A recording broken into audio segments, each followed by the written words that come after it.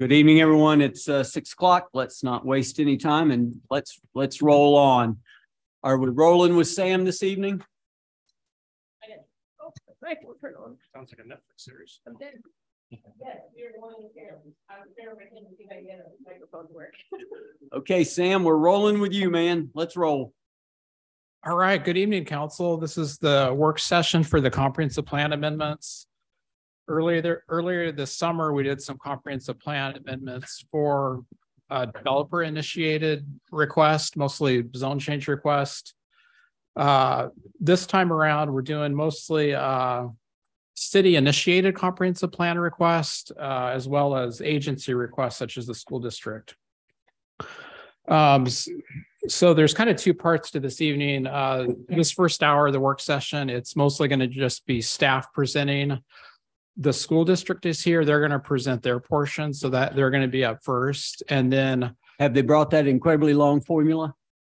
we've got it. We- The- We've the- got it. The to the forty-two, uh, uh, if you add A to B and you get W kind of deal. That's right. I look forward to an explanation of that from them. I hope they're ready. Well, I hope they are too. Uh, and then the second part, uh, during our regular session is the public hearing. So that'll be the opportunity for any interested citizens or other members of the public to comment on any of these. Uh, but I'll jump right in. Uh, the first comp plan amendment is the Battle Ground School District Comprehensive Plan Update, as well as an impact fee update. Um, since schools are listed as items to be planned fun, planned for under the Growth Management Act, that's kind of how they're brought under our jurisdiction. Um, with us tonight is Michelle Scott and Kevin Jolma. Um, looks like Leanne Bremer is also available by way of Zoom. Uh, so I'll have Aaron bring up their presentation and then I'll have one or more of them um, come to the podium and kind of present this proposal for you. Okay, who's coming? Come on up. Let's roll. Are, are you the uh, explainer of the formula? I can, I can, uh, I can give you some nice summary of it. But yeah. Oh, come on now. please, um, Bring up Leanne, unmute her, and I'm sure she would like to say some opening She's more than welcome. statement. Thank you, Michelle. There she Hello, is. everyone. I'm Leanne Bremer. I represent the Battle Ground School District. Help them put together their updated capital facilities plan and impact fee calculation. And Michelle will be going through some slides with you, but I just want to say a few introductory remarks, maybe explain the formula a little bit.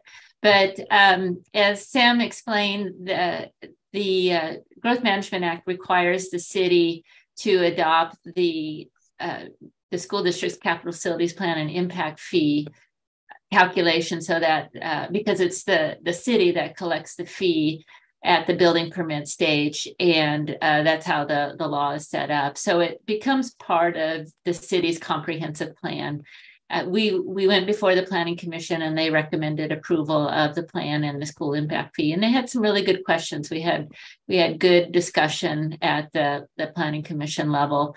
We've also been to clark county vancouver and vancouver and Yacolt as well because the district straddles those boundaries. So the capital facilities plan is uh, is required in order for the district to collect impact fees to, and it has to show that they are growing and i don't think there's any question they are and that they they have a need for facilities to serve the new growth. And so um, what the plan details is uh, inventory of existing facilities enrollment projections and capital facilities needs. And then getting to the formula itself it is um, pretty complicated. I think you need a calculus degree to understand it, but this formula has been on the books almost 30 years and has been used uh, in every jurisdiction in Clark County. And there are a number of variables that get plugged into that formula. And that's why you see um, a, a real difference in the amount of fees being collected across Southwest Washington. Because there, probably, I haven't counted, but I would guess eight or nine variables that get plugged in depending on each school district's needs. And the primary driver of the fee is the cost of new facilities to serve growth. So the higher that that top line is, the higher the bottom line is. And uh, you'll see it in neighboring uh, Ridgefield School District. They they also have a higher fee than say Vancouver, just because their needs are so great. And Battle Ground is um, closer to, to, Ridgefield than Vancouver in terms of their fee amount. So with that, uh, I will turn it over to Michelle, and she can go through her slides and and explain how the school board came to its recommendation. Uh, Ms. Bremer, before you go back to Zoom land, uh, what, what, what is, is, are you an employee of the district or how, how do we know you? Oh, okay. I'm I'm an attorney uh, hired by each of the Clark County school districts. There are nine of them in Southwest Washington to help on this particular project. So I'm I'm a private practice attorney doing this work for the district. Thank you. Mm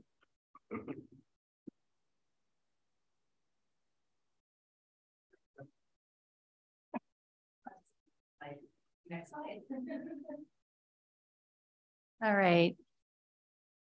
So we'll start with uh, assessing and dispersing school impact fees. So as Leanne um, mentioned, we are with um, Clark County, City of Battle Ground, Town of Yacolt, and City of Vancouver.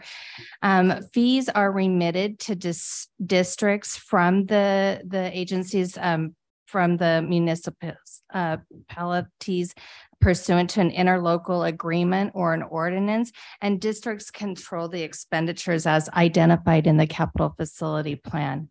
Next slide, please. So how districts spend school impact fees, um, construction improvements that add student capacity and related support facilities necessary to serve growth. So um, as our enrollment grows and um, our needs um, uh, grow, um, so are so do our facilities. Um, we also have system-wide construction improvements that benefit the additional students from new development. So that could um, be a support facility such as a warehouse or a district office that would um, because all of those go into the support of the of, of the growth from the new students so districts uh, next slide please so districts process and adopt a capital facility plan and school impact fees. So we prepared student enrollment projections. And I can tell you right now, our projections, our forecast, we are we've blown the, that forecast away. So we uh, budgeted conservatively. This um, this plan was put together very conservatively. We just didn't know with the pandemic. We had a we had a a, a, very large decline in enrollment. We were at, um, we had projected um, conservatively that all of the students that were attending in the 21 22 school year would return in the 22 23 school year. And they did, and so did about 200 homeschool students and private um, school students, and, um, and then new growth as well. So we had a, a huge uh, increase from our enrollment projection. Um, and uh, what, what is that number? 12,200. 12, 12,200 at today. Yes.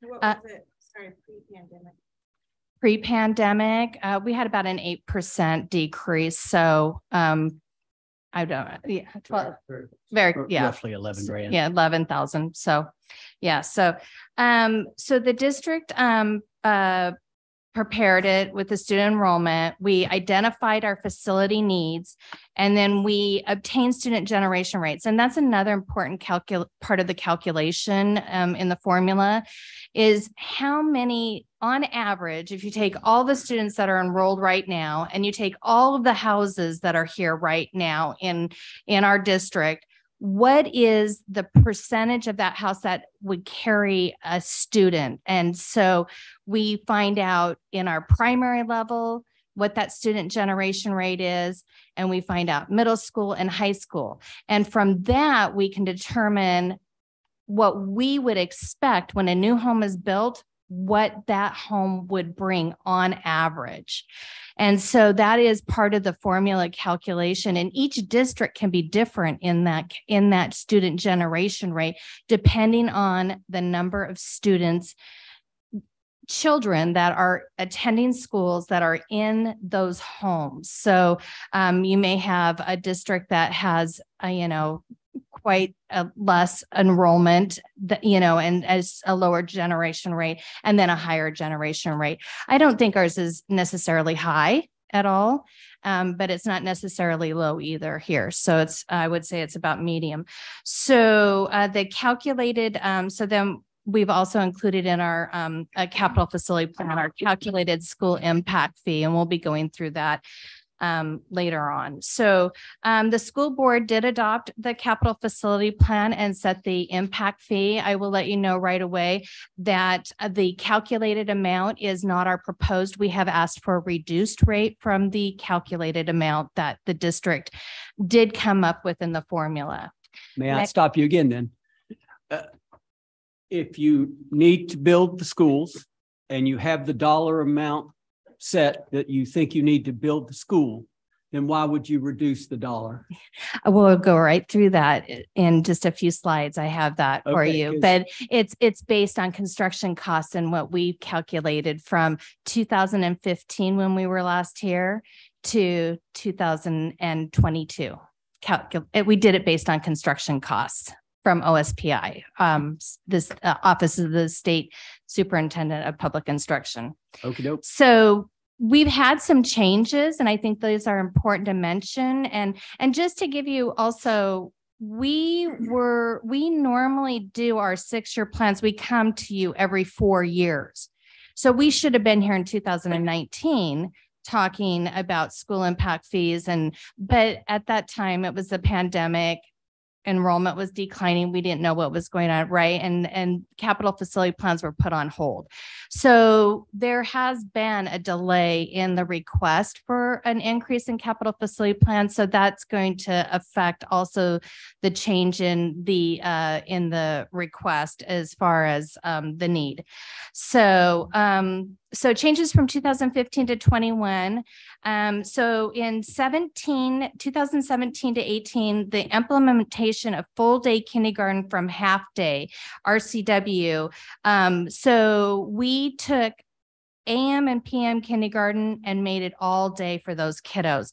So that created, um, uh, that took those facilities where we were running two classes in one classroom. We needed an additional classroom. So that made changes to our facility needs.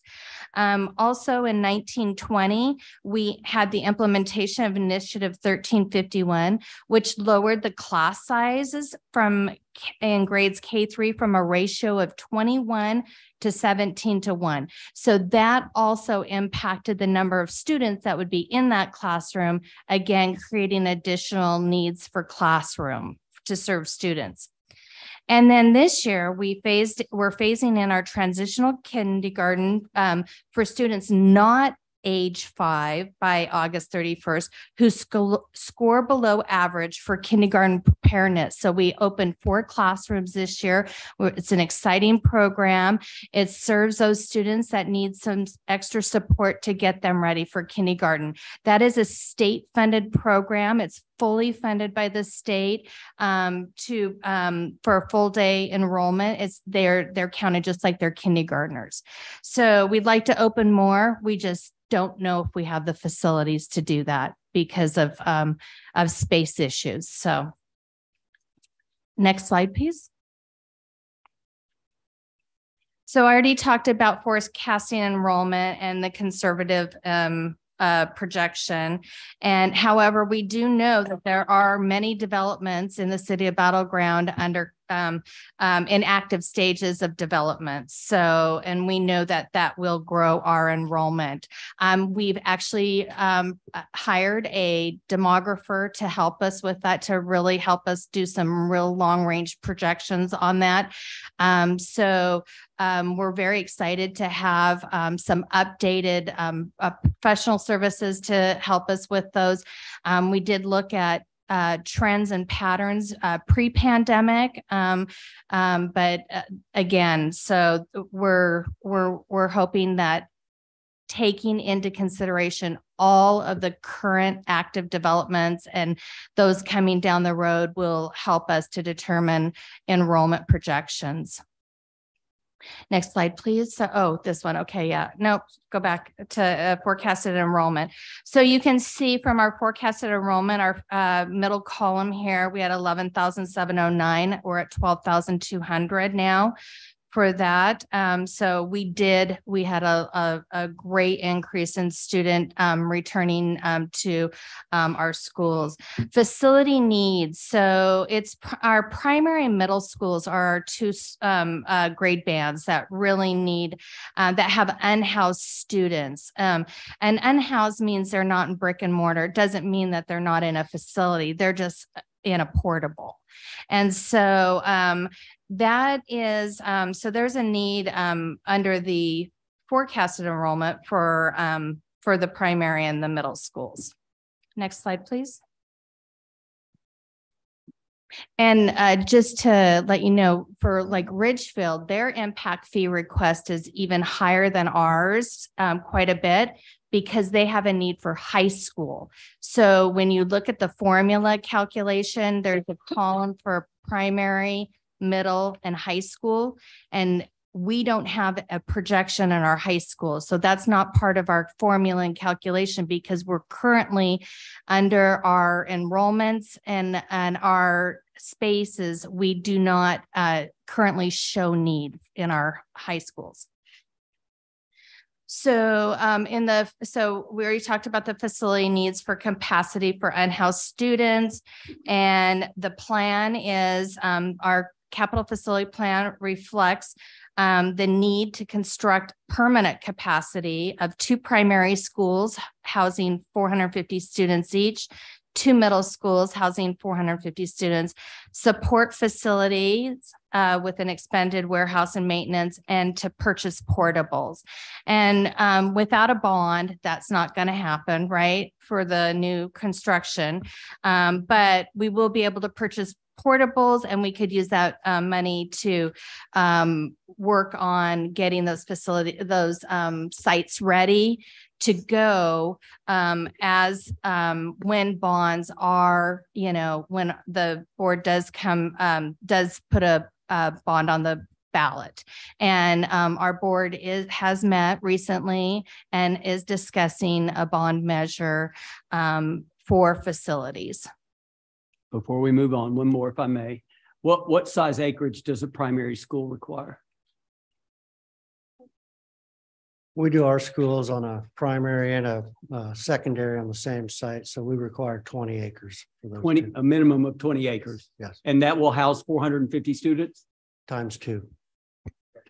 Okay.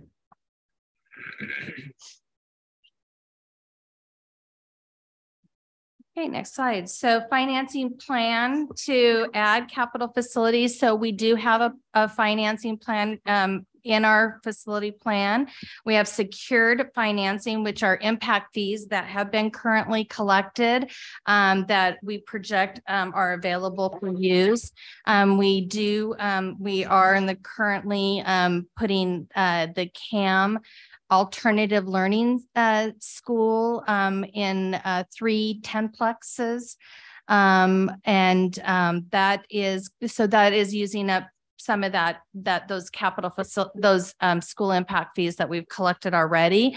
So that's um, uh, we lost our lease on that facility uh, that they were uh, in the uh, church facility and or uh, private private facility that they were in. So we lost our lease on that. So the impact fees were um, uh, important to be able to uh, house those students. So um, unsecured financing again is impact fees to be collected over the next six years, bond funding and state funding assistance if available um, uh, based on um, the state funding formula um, for um, schools. Next slide, please. so our current bond, we, we're talking about bond, our current bond, um, expires December of twenty-three. So, and we will have, uh, zero bond, um, payments, um, uh, pending, um, any, uh, bond authorization that may get approved. So um, ongoing uh, district discussion for future bonding, we already talked about that. So um, state funding assistance is uh, funding approved by the state legislature. So we're dependent on that. So let's go to the s- impact fee amount. So there is a formula and that is um, part of the um, uh, the capital facility plan. Our calculated amount for single family is $11,535 and multifamily $4,963. And um, as I said before, and I've also put some previous adopted fee amounts here. So you can see in 2009, our uh, previous amount was $9,880. 2011, 5 thousand one twenty eight. Uh, and these are for the single family is all I'm referring to. And then 6,397 is our current fee. And so it, the formula, as Leanne mentioned, really follows construction costs is really is one of the main uh, drivers of that formula. So next slide, please. Um, so the district is um, uh, decided to do some research on construction costs based on some information from OSPI. And so we looked at the um, average uh, cost per square foot in 2015 and then looked at it for 2025 and um, 550. I don't know if that's, we're there now or that's now. So, but at the time, you have to remember that this was being put together. It was a little while ago and costs have still increased because of inflation. So that was a 68.2% increase. We applied that to the current amount, which gave us the $10,760 and then the multifamily at 3,845. And um, our board felt comfortable with this amount. It um, reduced amount supports, um, helps support affordable family housing and provides classroom to house the students that are coming from those houses. Next slide, please. Oh, there we are. And Have we any questions? Yes, ma'am. So I just have a couple questions. So this rate is for every municipality in the district? Yes, And then what happens if other municipalities don't approve it for the in- increase? uh, is Leanne still on? I am. So the answer is each, uh, the county and each city or town can, can decide on a different fee as long as they don't go over the maximum amount. And, and as far as I know, that hasn't happened except in Ridgefield. I think one time the county and city there had different fees, but typically the, the, it's, it's uniform across the jurisdictions that the districts are in. Yeah, currently Yacolt, eh, ha- um, in two thousand fifteen approved a five thousand flat fee is what they approved in, um, eh, for the two thousand fifteen. So that's what they're collecting in the town of Yacolt. And they're also supposed to be going up to the 11th or the ten thousand. So yes, we have presented to them our request. Mm-hmm. So I, I We was just presented it to them. I was just thinking if the others don't contribute, if you're still able to make your goals. Probably not. Well, I tell, I will tell you the delay in, in collecting of impact fees has set us back a little bit, you know, but we been able to manage to put portables down and house students. So that's the good news is that we have been able to, but we do have, we would like to increase our um, transitional kindergarten. We'd like to be able to appropriately house all the students coming from new development and growth. Um, and this just, and the city of Battle Ground has a lot of it. So. Thank you. Anyone else? I have a question. Yes, ma'am, please. So, um, I may have missed it, but do you have any plans to go out for, um, for a bond? In, in, in the near future? Yes, uh, yeah, so the board has been discussing it. Um, we are, it's, uh, there's a lot of variable, there's a lot of things to consider, right, with running a bond. Uh, the current economics of the, of the, of the state and, um, you know what, I'm gonna let Kevin talk to about it a little bit too. Go ahead. Yeah, the, the, you know, the board has just, we've been discussing it and I've been putting together plans of what, what those would cost. Um, Uh, right now, um, we're in very early phases of discussing that, Yeah. Okay, so, um, at least a year from now. at least a year, okay. Um, and then does McCleary have any part in funding facilities? It's- No. It's all just the education part of it? Yes. Okay, Yeah, yeah, th- these would all be part of our capital um uh projects fund. Okay. And those are o- restricted for use on facilities only. Right. all right, that's all I have. Thank Yes, you. ma'am. Thank you. Yes, sir. So this is, and forgive me for not maybe doing a little homework before. I probably could have asked my council member to the left and found this out, but I'll ask you. Um, so if we the deputy mayor brought up a good point. If we accept what you guys have put out here and the county comes back and says, eh, we really don't, we don't want to be there. We're going to be here. Yacolt comes back, says we want to be here. Um, because we've already seen that happen with fire impact fees. The county collects no fire impact fees for fire district three. We collect fire impact fees in this, in the city. So if you're building in the city of Battle Ground, you're paying fire impact fees. If you build in the county down by Prairie High School and build apartment complexes all you want down there, you collect no fire impact fees, so it doesn't help the fire district out. So we're subsidizing what's going on in Fire District Three by our fire impact fees. So what happens then if the county comes back and says, we don't like ten thousand three, whatever it is, Seven. ten thousand seven hundred, we want to be at eight thousand. And Yacolt comes back and says, well, we want to be at five thousand. And Battle Ground says, we're fine with word, you know, whatever you guys want, we'll go get it. What happens then? Those will be the rates that we'll, we'll, re- we'll receive. Uh, it's up to voted, uh, elected officials to, to make those determinations. And we have four municipalities and Yacolt has historically dropped them. The county has, I don't believe they've ever dropped them, so it will be what we receive. Okay. Cause that's, that's my only concern is like.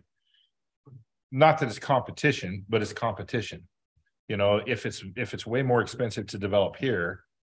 Well, we'll just go past 179th and develop. And we've already seen what that's done. The county's really good at doing that. They're, they're good at developing to their standards, which are not our standards. And so. You know, Yacolt, we've seen a big boom. Well, I guess you could call it big, probably for Yacolt Hmm. you know, a bigger boom and and I know there's some developments getting ready to go in up there. Um, you know, and I asked Mr. McCoy just a minute ago, when you when you were talking about this, when as a district wide, you look at it and you give a percentage, uh, well, you know, every home has one point two children. Is it different in Yacolt? Is it different in Battle Ground? Than than it would be, you know, so I don't have a problem I don't have a problem supporting this, but if, if Battle Ground has three point five kids per home and Yacolt has four and the county has one, well, that's different, right? We're, we're, we're putting more kids in the school than they are. And so our impact is greater. Um, but I, I know that would take way more than your math equation to figure that out, right? Of what comes from the city, what comes from the county, um, and separate it that way, but you know, just from, from, from our, my standpoint is, I would love to see. I hope the county would do this and I'd love to see where the others are, but, and I don't think we've ever not. It's your deal, right? We just say yes and it's your deal, so, um, but it, it is a little concerning that, that they would. Come in lower than where you guys need to be and put it on the backs of others that. Um, to help support this. Thank you. Yes, sir. Yes, ma'am. Sorry, his uh questions kind of got me wondering something.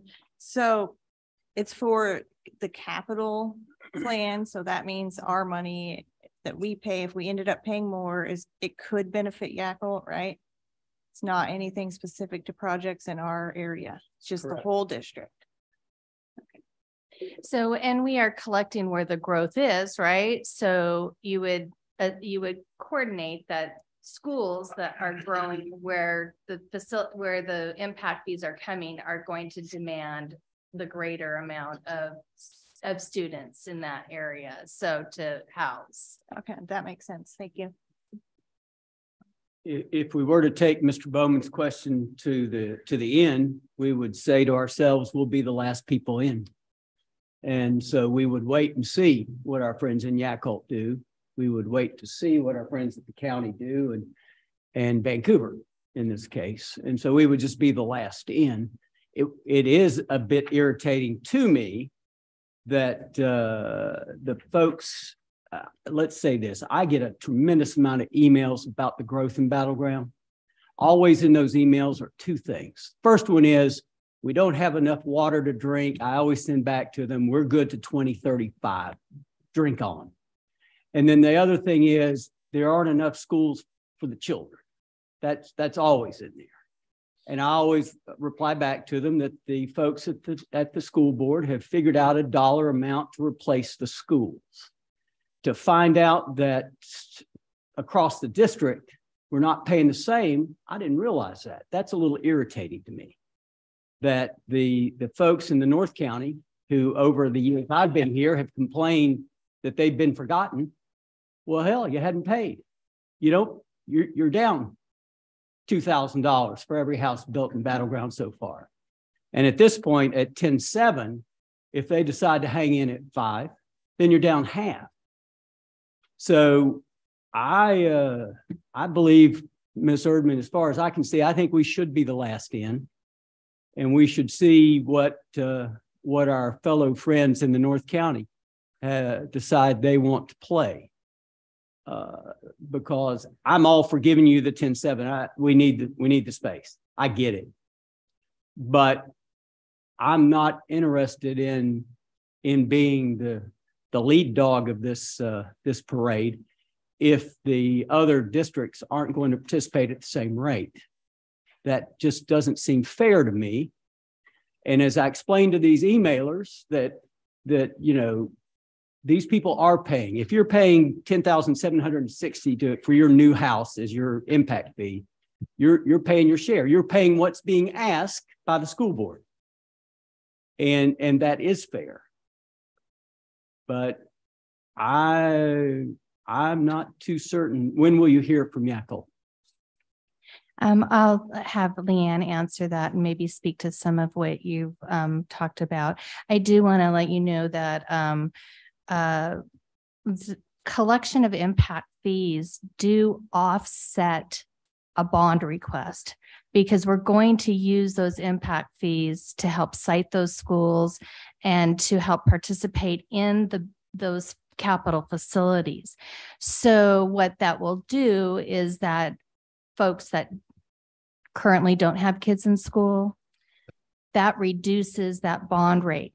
Maybe not very much, but it will impact the bond rate. So um, why we appreciate you taking your time to to consider our request. Um, just remember that we are charging these only to new houses being built for growth. And those house and that will help offset some of our bond needs. Sam, how, how many, how many houses, how many houses are online for the coming year? How, how many would you, would, do you expect? Like to be built or To, to be finished and, and be put up for sale? Roughly, We had nine hundred over the next couple years, wasn't it? Yeah, hmm, of stuff that's being broke out. oh, preliminary approved or, yeah. okay, yeah, How many would you say? About eight hundred. I think the last time I looked at it, which was probably a month, less than a month ago, it was around that eight twenty, eight fifty. Would, would someone do the math on what eight hundred times ten thousand seven hundred and sixty is for me? Please. Eight point six million. And would you do the same? Well, if we go half at, at Yacolt, we're going to assume they're not going to build the same number by any stretch. But you still, as a percentage, they're half down on us. And As- are just preliminary approved. they're I understand that. So, well, let's take six million just for, just for giggles. So if we're going to draw six million dollars out of this community, while at the same time as a percentage, we're not drawing that out of any other community. No can do. No So can do. may I ad- address these points, uh, Mr. Mayor? Uh, Yes, yes, ma'am, please, please. You, you, you, you have the formula, we're told. So let, let's hear it. I do.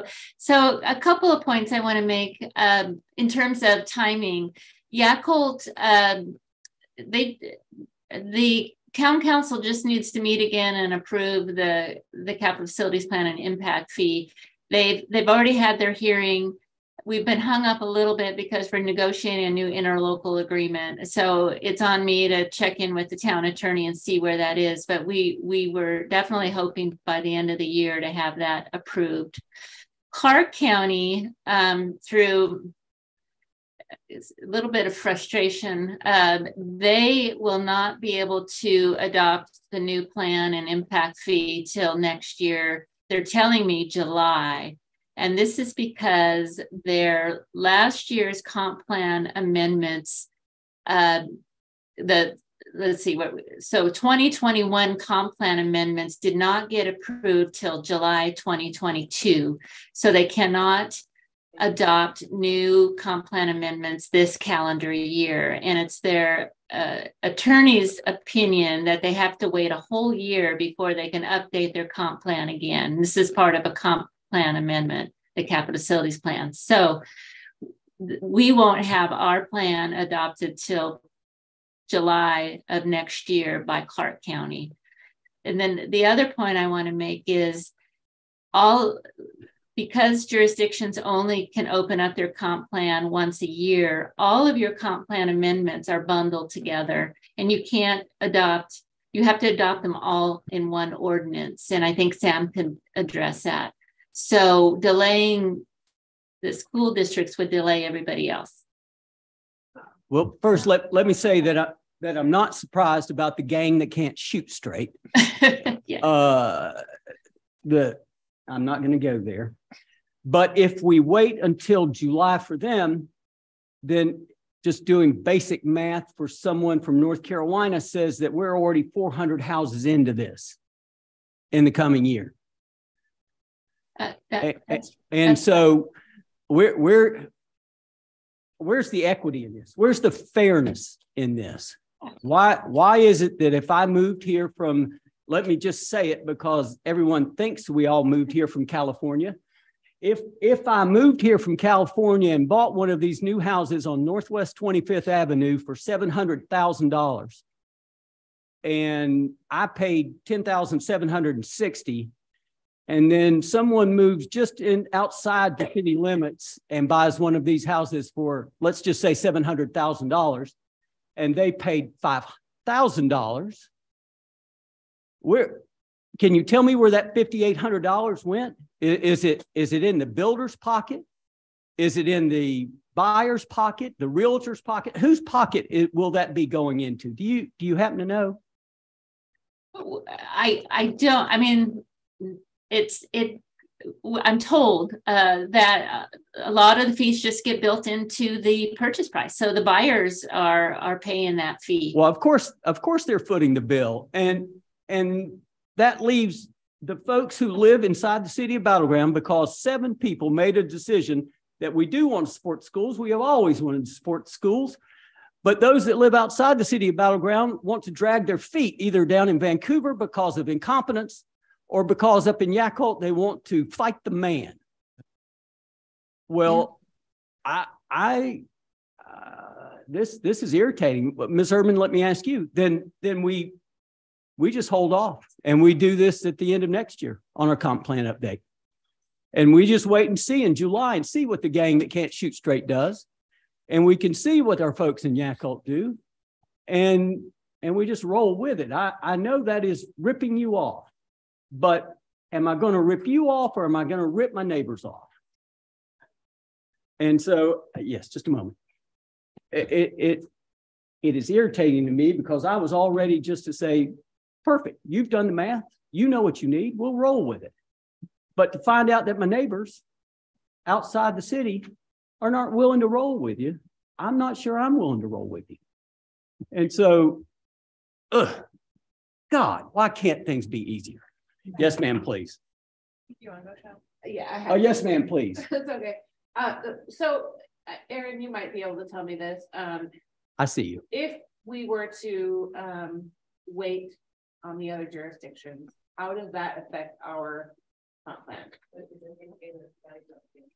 That's one of my questions. I think the way we need to look at this may be more of how do our impact fees overall compete with other jurisdictions? By increasing the school impact fee, what does that look like to build in the city of Alabama versus other jurisdictions? Because that's what they're gonna be looking at to set their impact. fee.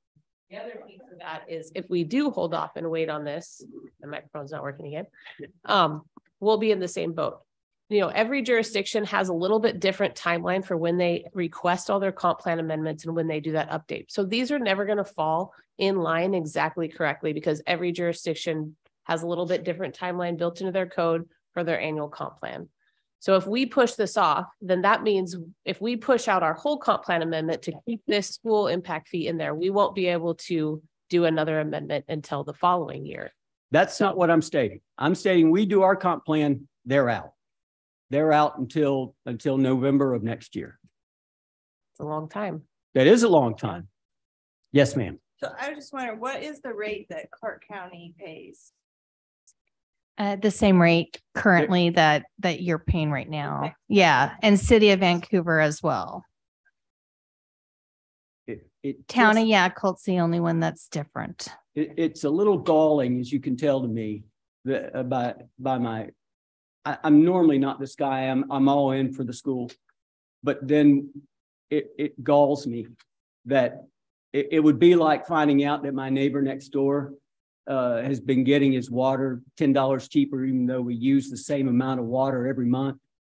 That would just irritate the crap out of me. And to find out that the folks who complain the most about not having the better schools in the North County are not paying their share. That's galling.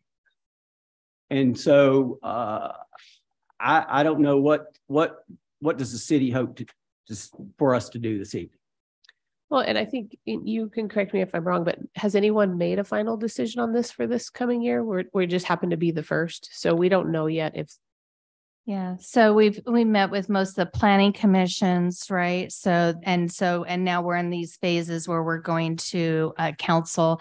Um, and Leanne can uh, jump in here. Um, City of Vancouver um, had a work session and we will be going there in December. We have a couple meetings in, in City of Vancouver. Um, we currently don't have any residential houses being built in the small overlay that we have there. So it's not really impactful to us at all because there is, you know, unless something comes up with some development over there.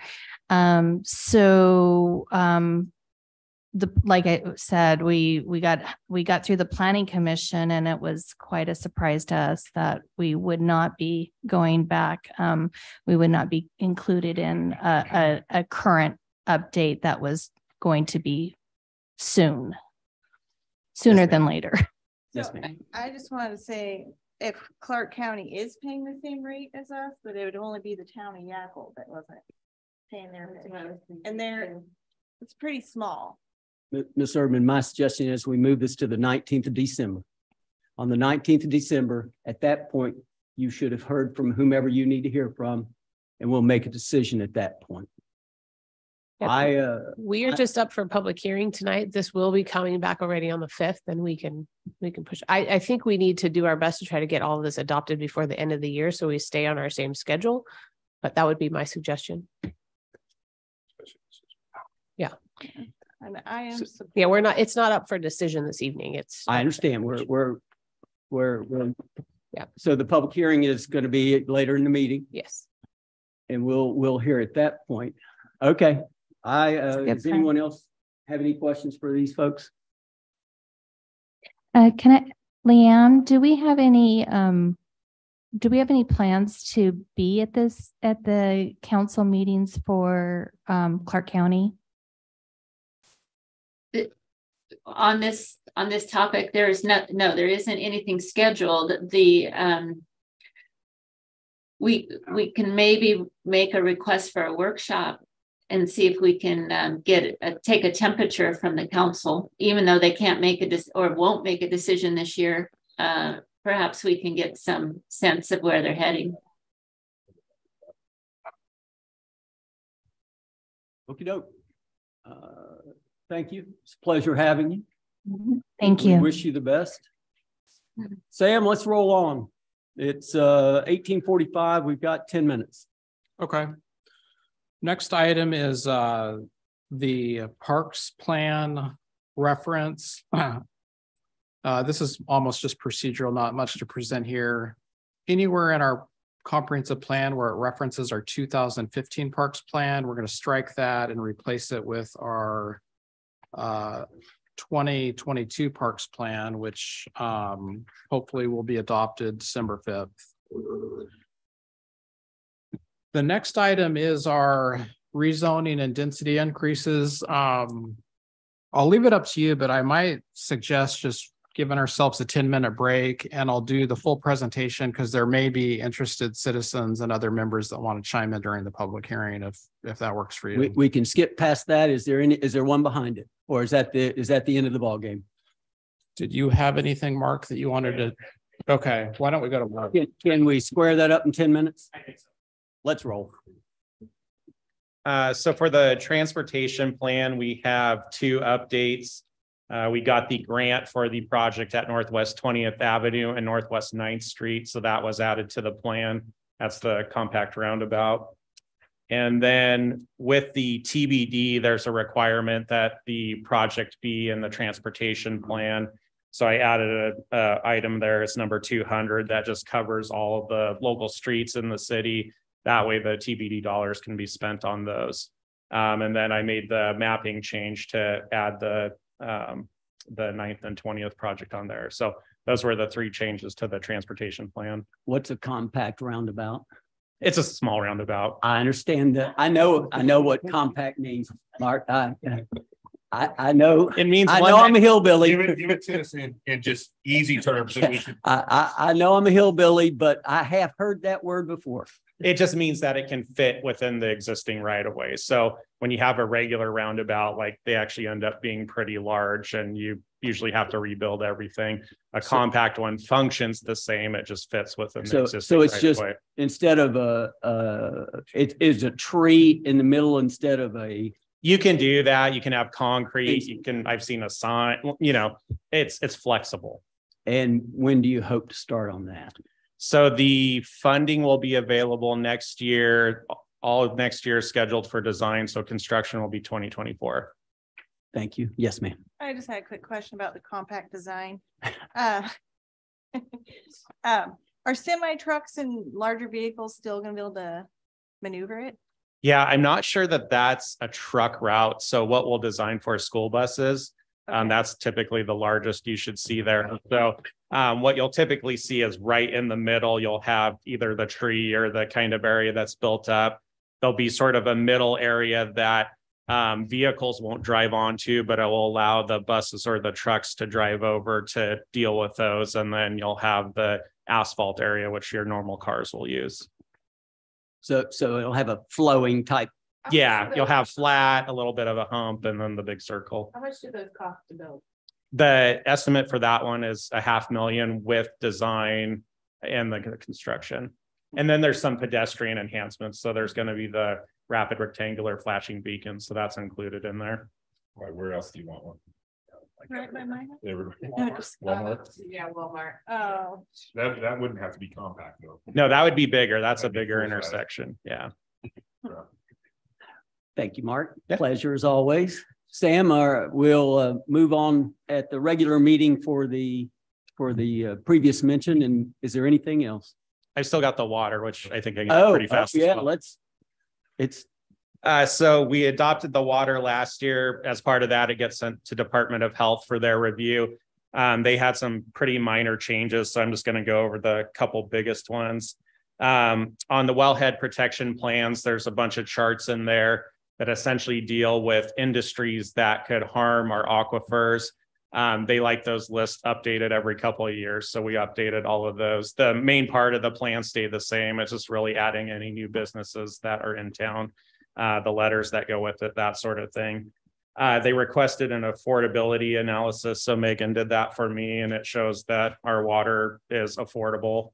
Um, and then the last thing was for our water quality monitoring plan was essentially if we ever get E. coli in the system, how we inform people. And so they wanted more detail about how that would work, who we would talk to, sort of uh, literally a step by step of that whole process. And so we updated that and all of those documents are in the packet. they, they've never heard of social media? Uh, do, do they think we have Paul Revere? I mean, I- do, do we have some dude on a horse running through? There's, there's E. coli in the water. There's E. coli in the water. Yeah, I think what their, their theory is, is that if you have a checklist, you don't have to think about it when you're all panicked Okay. because it's, so they like to see a step by step. Well, Okey doke. Okay, Sam, we're back at you, brother. Are we, are we done for now? No, I'm good. I appreciate everyone. It, uh, the time is, uh, ten minutes of seven. We'll see you back at seven.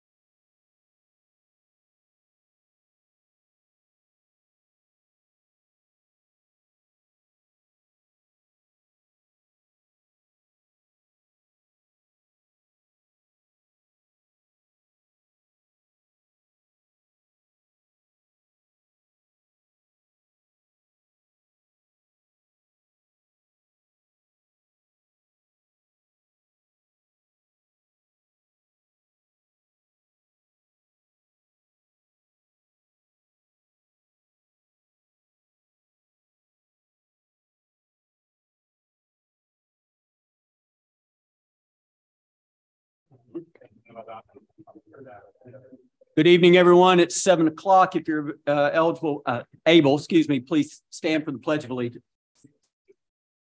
Pledge allegiance to the flag of the United States of America and to the republic for which it stands, one nation, under God, indivisible, with liberty and justice for all. Thank you very much. Ms. Cody, let's see who's here. Mayor Johnson, I'm here. Deputy Mayor DesRochers. Here. Councilmember Bowman, Here. Councilmember Cortes, I see him. President, I hear him. Councilmember Davis. Here. Councilmember McCoy. Here. Councilmember Walters. Here. The roll has been called, Mayor. Thank you. Uh, are there any additions or removals from the agenda? defer the agenda. Thank you, sir. Second. Yes, ma'am. Thank you. All in favor? Aye. Aye. Any opposed? Hearing none. Council member reports. Hmm. Yes, ma'am. I attended the um mosquito control district meeting.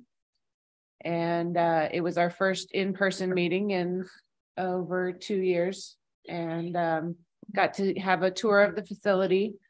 Um, we approved the budget and voted for um, board um, president, secretary, treasurer, vice president. Um, and I am now the secretary treasurer.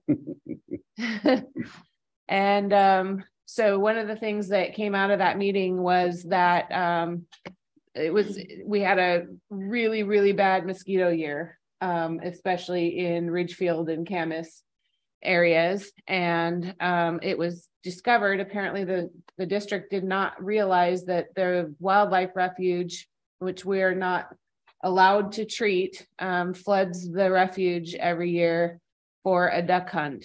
Um, and that may have contributed to the, the situation that we saw uh, this last summer with the heat, um, as, as long as we had it. Um, they are, um, currently being allowed now by the refuge to go in and do some, some data collection and, and some testing. So we should know, um, hopefully soon whether or not they'll allow us to go in there, um, with some treatment products for next year.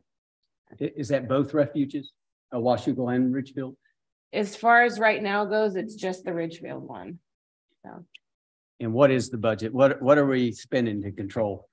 I, I have to get back to you on that, that number. It's, um, it's over, over a million. So, yeah.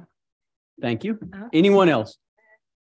I mean, just basically, I attended the ECHO meeting, uh, which is a uh, ending community homelessness organization where we discuss homelessness in the community and what different agencies and partners are doing. And again, we talked about the need for uh, space within the county to have another safe park. That's where uh, people get screened and approved to park their vehicle in a safe space. Um, typically it is seniors or single women that go to those sites.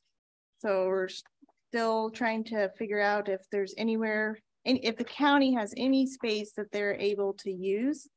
So if anybody hears of anything or knows of any spaces that would be available for that, it'd be really helpful to helpful for the community.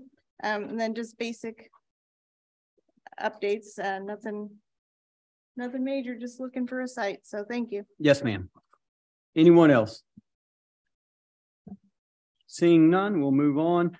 Ms. Erdman, anything from the city? No, ma'am. Uh, citizens communications, uh, I have one. Noel, are, are you willing to come now or do you wish to come somewhere down the line? Okey doke. Welcome aboard. Kind of hitting a lot of different topics, but we'll, um, Let it hopefully it's the right place in the agenda. Let it, let it roll. Noelle Lovern. I'm with the Building Industry Association of Clark County.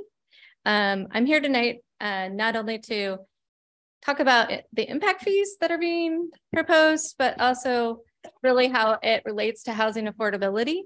Um, we are about families and children as well. Um, we know that we have to have solid infrastructure, good schools, all those things to be a thriving community.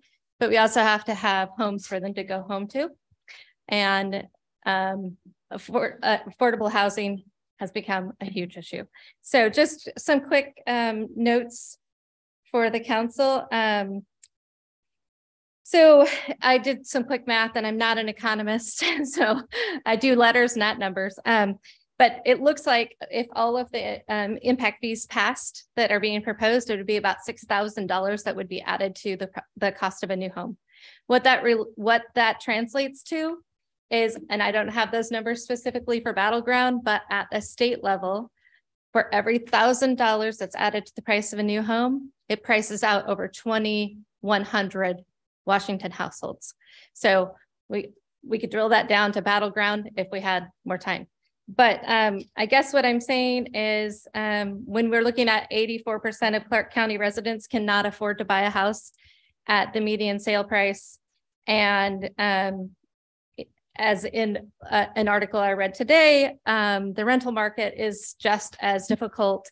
We only have 43% of, of we only are able to house 43% of the low income fam families that need housing right now. Um, so I would just ask that we really consider each of these impact fees and what it's really doing to the housing affordability. Thank you. I read the same article and if, I believe if I read it properly, that uh, Battle Ground was the most affordable on both ends. All right. Both both on uh, purchase and on rentals. Yes. So uh, I don't know what that says about our friends in Camas and Washougal and Vancouver and Ridgefield and La Center. We'll let them worry about that. But uh, as of today, uh, according to this guy, whoever this guy was in the paper, uh, Battle Ground seems to be the place that you can at least maybe attain some housing at a reasonable price. Well, I can say I'm in the market right now and it's difficult. So, I can, I can imagine. all right. It was a pleasure to have you. Thank you. Thank you. Anyone else? Seeing none, we'll close uh, citizens communications and move on to the consent agenda. Does any council member believe that any item needs to be withdrawn? Thank you, sir. Thank you, sir. All in favor? Aye. Any opposed? Hearing none. Ms. Erdman, we're moving on now, I guess, to the meat of the matter, and that's the uh, annual code amendment, and we'll turn it over to you. Thank you, Mayor Johnson. Yes, we have for public hearings for the annual code amendment. So I'm going to turn it over to our Community Development Director, Sam Crummett. Um, we did present these at the last meeting, so I think Mr. Crummett will just go through the changes that we discussed at the last meeting and then we can move on to the public hearing. Is it not working? There you are. I just got to get closer. You got to get closer. Well, I was hoping to go through all these changes, but. We were looking manager forward to that as well. Didn't let me, so we'll just. Uh, really, the only change, uh, unless I missed something, was in the, uh, ethics portion. And that is highlighted in yellow. If there are any questions, we're here to address those. And I think that's somewhere around one forty nine in the packet, the PDF version. The, the change that we made two weeks ago. Uh, Is that, is that what you're stating? Yes, um, one fifty-four through one fifty-seven or so.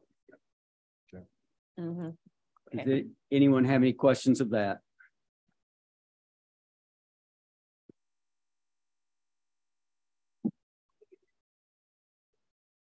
Okay. Yes. Yes. Uh, nothing else, Sam? The only thing I was going to mention, uh, there's been some extensive legal review being done on this, so there may be some pieces that we have to take out and adopt next year, particularly I think the parks plan, we, we need to work through a little bit more, but we'll keep you posted. Otherwise, we have this scheduled for December fifth for adoption. And the Parks Plan is, will, will still be in it? Um, we'll see. We need to find time with our attorney to work through the details. Hmm. Uh, the parks plan is going to be proposed for adoption. It's just the code language that may, we may need some more time on that. And it won't be delayed too long. Uh, Makie Jackson is working on it, but they've had quite a few things pop up. So we want to make sure that if we're making big policy changes, that they've vetted that. So we may bring that back mid to late January, probably. Okay. Okay, so at this point, we're going to open the public hearing. Uh, on, uh, on the annual code amendments, is there anyone interested in speaking to these? Don't see anyone rushing for the microphone, so we'll close the public hearing and move on. All right. Um, next up for public hearing is the annual comprehensive plan amendments. So we started that in the study session. So I will turn it over to Mr. Crummett again to kind of go through the remainder of the items that are associated with the comp plan amendment, and then we can go to the public hearing. Thank you. Okay, we'll go through these in order again. The first item is the comprehensive plan amendment for the Battle Ground School Dis- District uh, uh, capital facility impact fees. Um, and I know the school district already presented during their work session, but this would be the opportunity for the school district to provide any further information or any other interested citizens can uh, testify on this matter. It, it looks like we've picked up the crowd. So would you like to come just give us a mini, uh, a compact uh, version of, uh, of what you uh, gave earlier? So our uh, capital facility plan expired. Um, the last plan was adopted in two thousand and fifteen. And our board of directors has adopted an updated capital facility plan and school impact fee request, which is based on construction costs and student generation rates. And the proposed uh, school impact fee before the council is a um is is not the full um calculated amount that the uh district um based on the state formula that we use and all school districts use. It is a reduced amount that the district is asking for. And um I'm happy to take any questions that the council may have.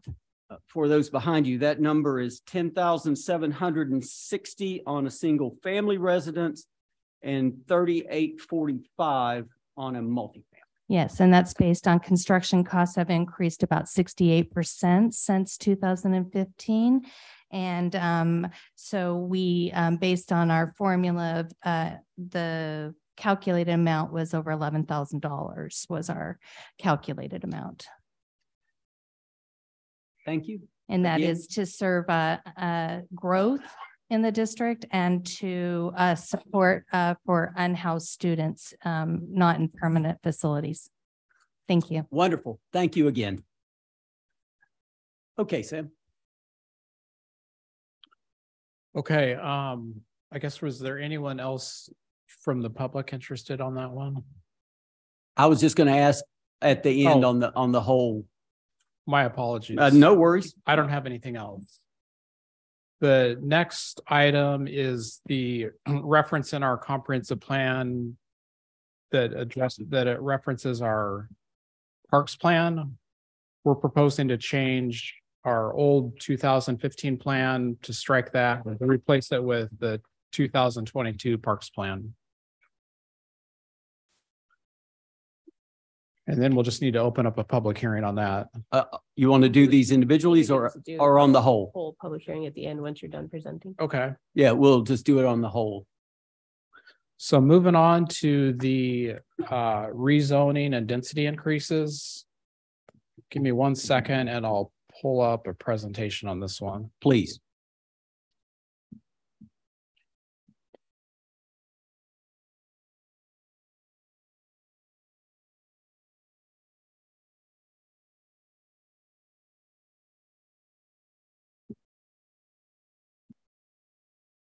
Okay, uh, earlier this year, the, uh, or excuse me, um, in twenty twenty-one, the city adopted a housing action plan.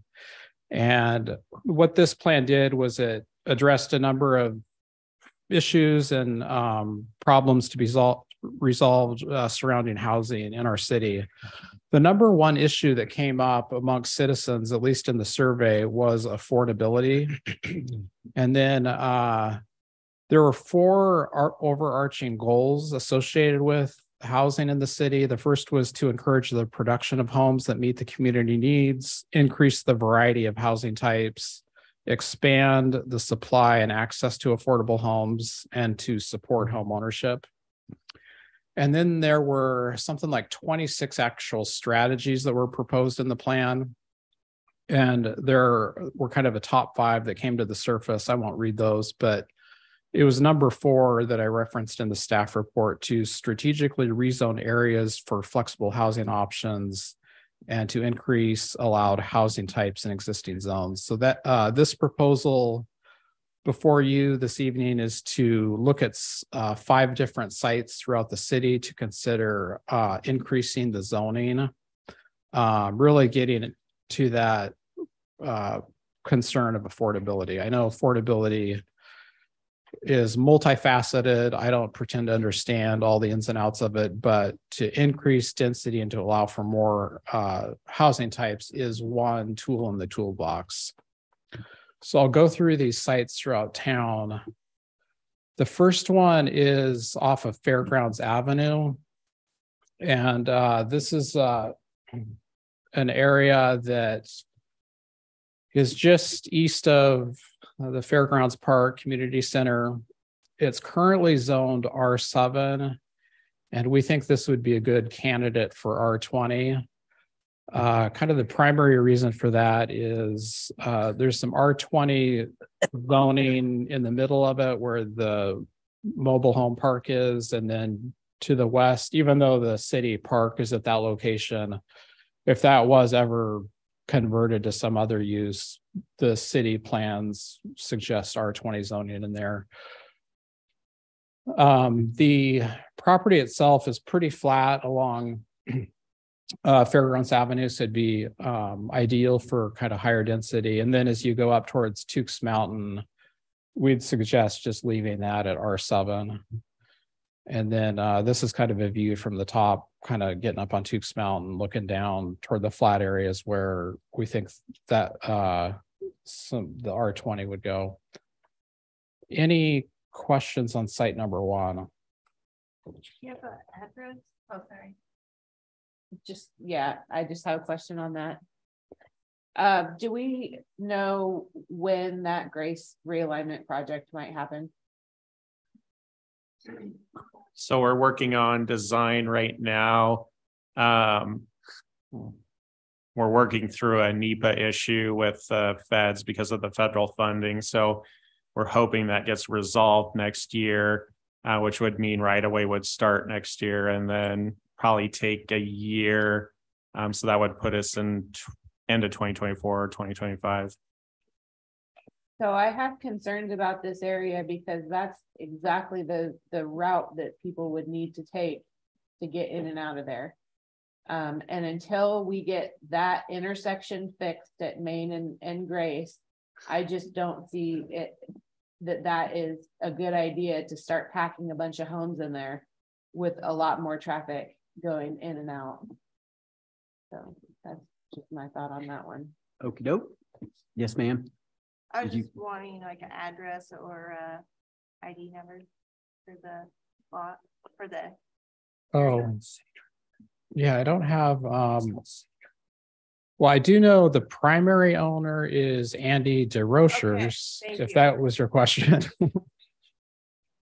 Yeah, I uh, guess it it is. is. And then I will add that at the planning commission meeting, um, there's like four homes on the northern end. We originally didn't have those in, but the planning commission recommended just pulling those properties into up to the railroad tracks, so we added those. But the parcels to the, the, the larger parcels to the south are owned by Andy DesRochers, one property owner. So, so the property to the gosh, what is that? To the east of, of our property there, the fairgrounds and skateboard park. That's the wooded property as you cruise through there now? That's correct. Okay. I'm- Yeah, I'm- and there I'm are- trying to get it straight in my mind. And then, so the housing in between the two is the small little trailer park. That's- Correct. And then the other trailer park is on the other side by the fairgrounds. Yes. Okay, I'm getting it now. Thank you. The bus route. Bus route goes down. It does not go to fairgrounds anymore, correct? No, It goes south down it takes a right on Grace on Grace. It goes down. to the and comes Rasmussen and then comes back up to Main Street. Okey doke. I think, I think we got it. Okay, the next site, we're now over on Northwest Twentieth Avenue. So, um, think of kind of where Albertsons is, Main Street, and then go north on Twentieth Avenue. And then there's Ninth Street at the top of your screen. Florence Robeson Park is there. Meadowview Apartments is kind of in the southern end of this red rectangle, so that's already built out. And then there's some townhomes in the middle part.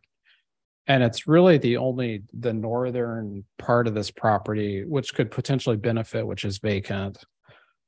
We're recommending going from R ten to R twenty. Um. Again, we've got R sixteen across the street. Uh, the existing housing types to the south are all multifamily or attached, and I think this could be a good target to uh. Have some multifamily units. There, there is one. Uh, thing, I don't know if it's maybe getting into the details too much, but the underlying plat uh shows this commercial on the corner. This was originally developed as a planned unit development, and there's a plat note that says that has to be commercial, so. Today, if someone came in, regardless of how the zoning has changed, they'd have to develop that as commercial. But what they could do is if they did want to. Build under the R ten or if it becomes R twenty. They could come back to uh, uh, go through a, a replat process to eliminate that note, and that's a possibility, so. Uh, Uh, is this the wetlands area across from the apartments? that's right, and I've got a couple pictures Is that what we're looking at? I'm, I'm trying to get it. Oh, no, no, okay. Oh, Uh, sorry, it's not, yeah, the, uh, it's it- just the, It's that little jut of property on the corner there. Right, it's this property that's vacant along the corner. There you can kind of see the, um, like townhomes and the apartments to the Well, south. This is looking south along Twentieth Avenue. That's a fourplex right there. Uh, so it is. What, what zoning is fourplexes allowed in? Um, anything from, I think, R ten up. There might be a conditional use permit in the R seven. So, so are, are you, are you saying then this, this piece of property that we're looking at, the fourplex is to the south there? What, currently it's R, R ten currently. currently R ten, so you could build fourplexes in R ten. Mm-hmm. Yep. Density you Yeah, going Um, for, housing types are similar. It's really a density thing, going from ten units per acre to twenty units per acre. Okay, so you're, okay, so we're, what, I guess what you're asking then, on this piece of property, you want to double the density. Yes, Which could mean just a third floor. You could put in, you could put in apartments and add a third floor and you would, you would have your density. it could be. And You then I don't. I could look it up on GIS. I don't have the acreage of that northernmost part parcel, but that's really going to limit how Yeah. many units you're going to be able to get there. Yeah. Okay, I, I got that. Any questions on, yes, ma'am? I do have a question. So these are all city initiated? Yeah, these are city initiated. Um, I, along with our other senior planner, Emily, we kind of took a look at some areas we thought would be good candidates for increasing the density. So it's our effort to say, okay, if we, if we want to actually do something with this housing action plan and not let it collect us, this is, this is a small step, um, and we can come back with other, other things in there in the future years. Down the street here on the west side, they, they just put in uh, some sort of little subdivision. How many, what, what, zo- do you recall what that zoning, that would be on the corner of Onsdorff and Twentieth? Do you, do you Mhm. recall what, what zone that, zoning that is? Um, it used to be neighborhood commercial and then I think it got changed Yes. to, I know they're doing like some Are, shared driveway. so are, are those, do you know, are those townhomes? Are those, are those uh, single families? Are they I- a mix? from what I remember, it's gonna be, um. Yeah, I'd have to look up. I, I can't, I, my, it's changed two or three times, so I don't But remember. because this latest piece of property to me looks to be about the same size as that piece of property, roughly. No, No, that, that one's bigger. you think that This one's bigger? small. Yeah, Like, Yeah. At least three acres. yeah, that's quite a bit bigger. You think? Yeah. Mhm. Huh. Yeah, Okay, well, Ms. Davis, while, while they're kind of looking at that, what, My question may you have? be, As far as um. How it would look, all right, you have the, is that two level apartments right there, then you have the fourplex. Now you're saying maybe change R twenty, are we gonna be starting to look? Hodgepodge, do we have an idea, you know what I mean, like, you want it to look cohesive in a way that we don't look um, so that's my question is. How by. Rezoning it to R twenty. Um. What's the possibility of what something like there could look? That's my concern question. Um, so under R twenty. We give a variety of housing types. Um, it's gonna be limited to thirty-five feet in our residential district, so it can't be any higher than that. And that's typically gonna be like not higher than three stories. Um, but this, uh, by changing the zoning, we're not approving a project, neither can we necessarily specify, but it would just increase the potential number of units. So it could look like an apartment complex, it could be townhomes, it even could be like a cottage development of detached units, but they would just have to hit a target, a minimum target of ten units per acre and no more than twenty units per acre. And we still would ride with the, with the, uh, as, as the council has, has told you that there is no on-street parking, that this would all be off-street parking Yep, all the parking would need to be on site. on-site, yes, yeah, okay. Yep. One point five spaces per unit. And that, that piece of property that you're inquiring about to the north is zoned R twelve currently. So that's R twelve, Yes. And we're hoping here to go to R twenty. And this, it's zero point two seven acres. And, and that would, you, and let me just restate it so I have it clear in my mind. It would be a minimum of ten per with a max of twenty. Correct. That's for this lot. That's for the, the one we're talking about, site number two. But it's only like a quarter of an acre. Oh, so yeah, that, um, that's based on an acreage. So is it just a quarter acre? Yeah, so this, this would be three, a minimum of three and a maximum of six. Yep, something like that. Yeah. So it looked just like it is. It, it would look pretty Be- much like the be the town. fourplex, Yeah, Right. Those the, fourplex. the fourplex next door. I have a question on that one. Yes, ma'am. So It's gonna look right next to R ten. Uh, And it basically with the land available, it does the same. What's the purpose of even bringing up rezoning into R twenty? I guess I'm, I'm concerned. I know there's no plan now, but my concern is what are we putting out there that somebody can come do? I want to make sure our bases are checked. So if it's R ten and the amount is about the same, what's, what am I missing as far as why are we changing? Why do we want to maybe change? it R20? They could go up. They could move, So higher. high, high. So instead of like that duplex, we could go higher. But you could do a, four. Um, you could do that fourplex right there, but be the Yeah. same height and, and make eight units. Height, the height same isn't, height. height is the same, R ten or R twenty. It's the number of units. Yeah. Instead of having a fourplex, you know, you're, you're doing, you know, four comp, four apartments in one entryway type thing. All right, Thank you. Okay, I think, I think we've got that, Sam. Okay, the next site, we're now over along Southeast Grace Avenue, just south of Old Town Battle Ground. There are a few parcels, some of which are vacant that have some opportunity for development. And so this is across the street from the village and the, and the railroad tracks.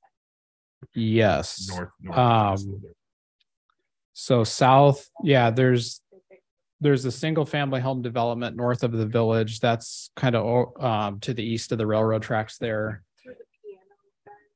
Okay. Um. And so to the north, you can see it's R twenty.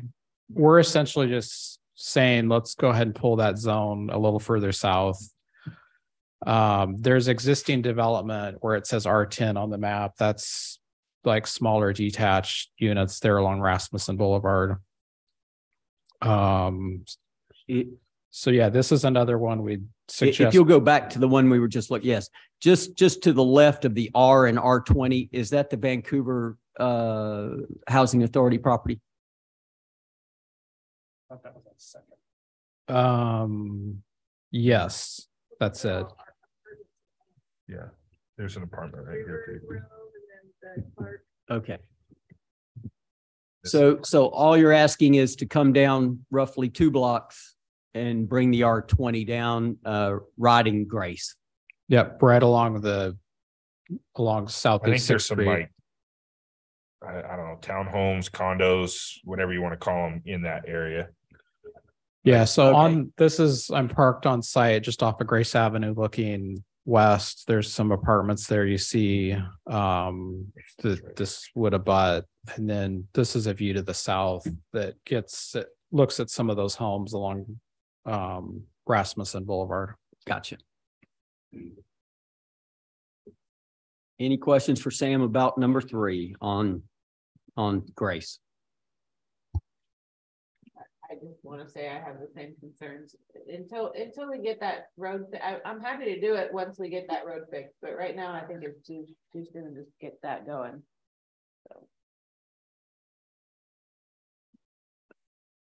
Okey doke, Sam? Okay. Next site is off of State Route five oh three and Onsdorff, Onsdorff Boulevard. The Word of Grace Church is at the corner there, and then their parking lot is um on the northwest corner. Um. This proposal is recommended to go from R ten to R twenty along the highway. And then as you go further east, it would go to R sixteen. And then um a little further east, it would go back to R ten. So based on the infrastructure here, a major signalized intersection, um, we feel like this would be a good candidate to increase some zoning. And then just a few pictures. It's mostly large lot, like five acre lots with single family homes on them. There's a private street that runs through there to serve those parcels. Of course, if there's development, all the city infrastructure would need to be rebuilt in that area. And all the stuff to the, to the west there, that R ten is what's being developed right now. Yeah, the stuff along to the, that's Amira's song and um Yeah, the one where you did a development agreement on. yep, yep. Mhm. And, and the church is across the street from the commercial, little commer- neighborhood commercial spot there. Is that so that I have it straight in my head? That's right. Okay. And that, that would stay neighborhood commercial, that corner? Yep, that would stay neighborhood commercial. And, and again, it's currently R ten. And the city's wish is to go to twenty on the state route side Mhm. and to sixteen on the back of that. That's right. Okey doke. Any questions on site number four? I don't see any. Uh, later, sir. Okay, the final site in this package is taking a regionally commercially zoned property and going to R sixteen. This is the property north of what used to be the city property, now owned by Fire District Three.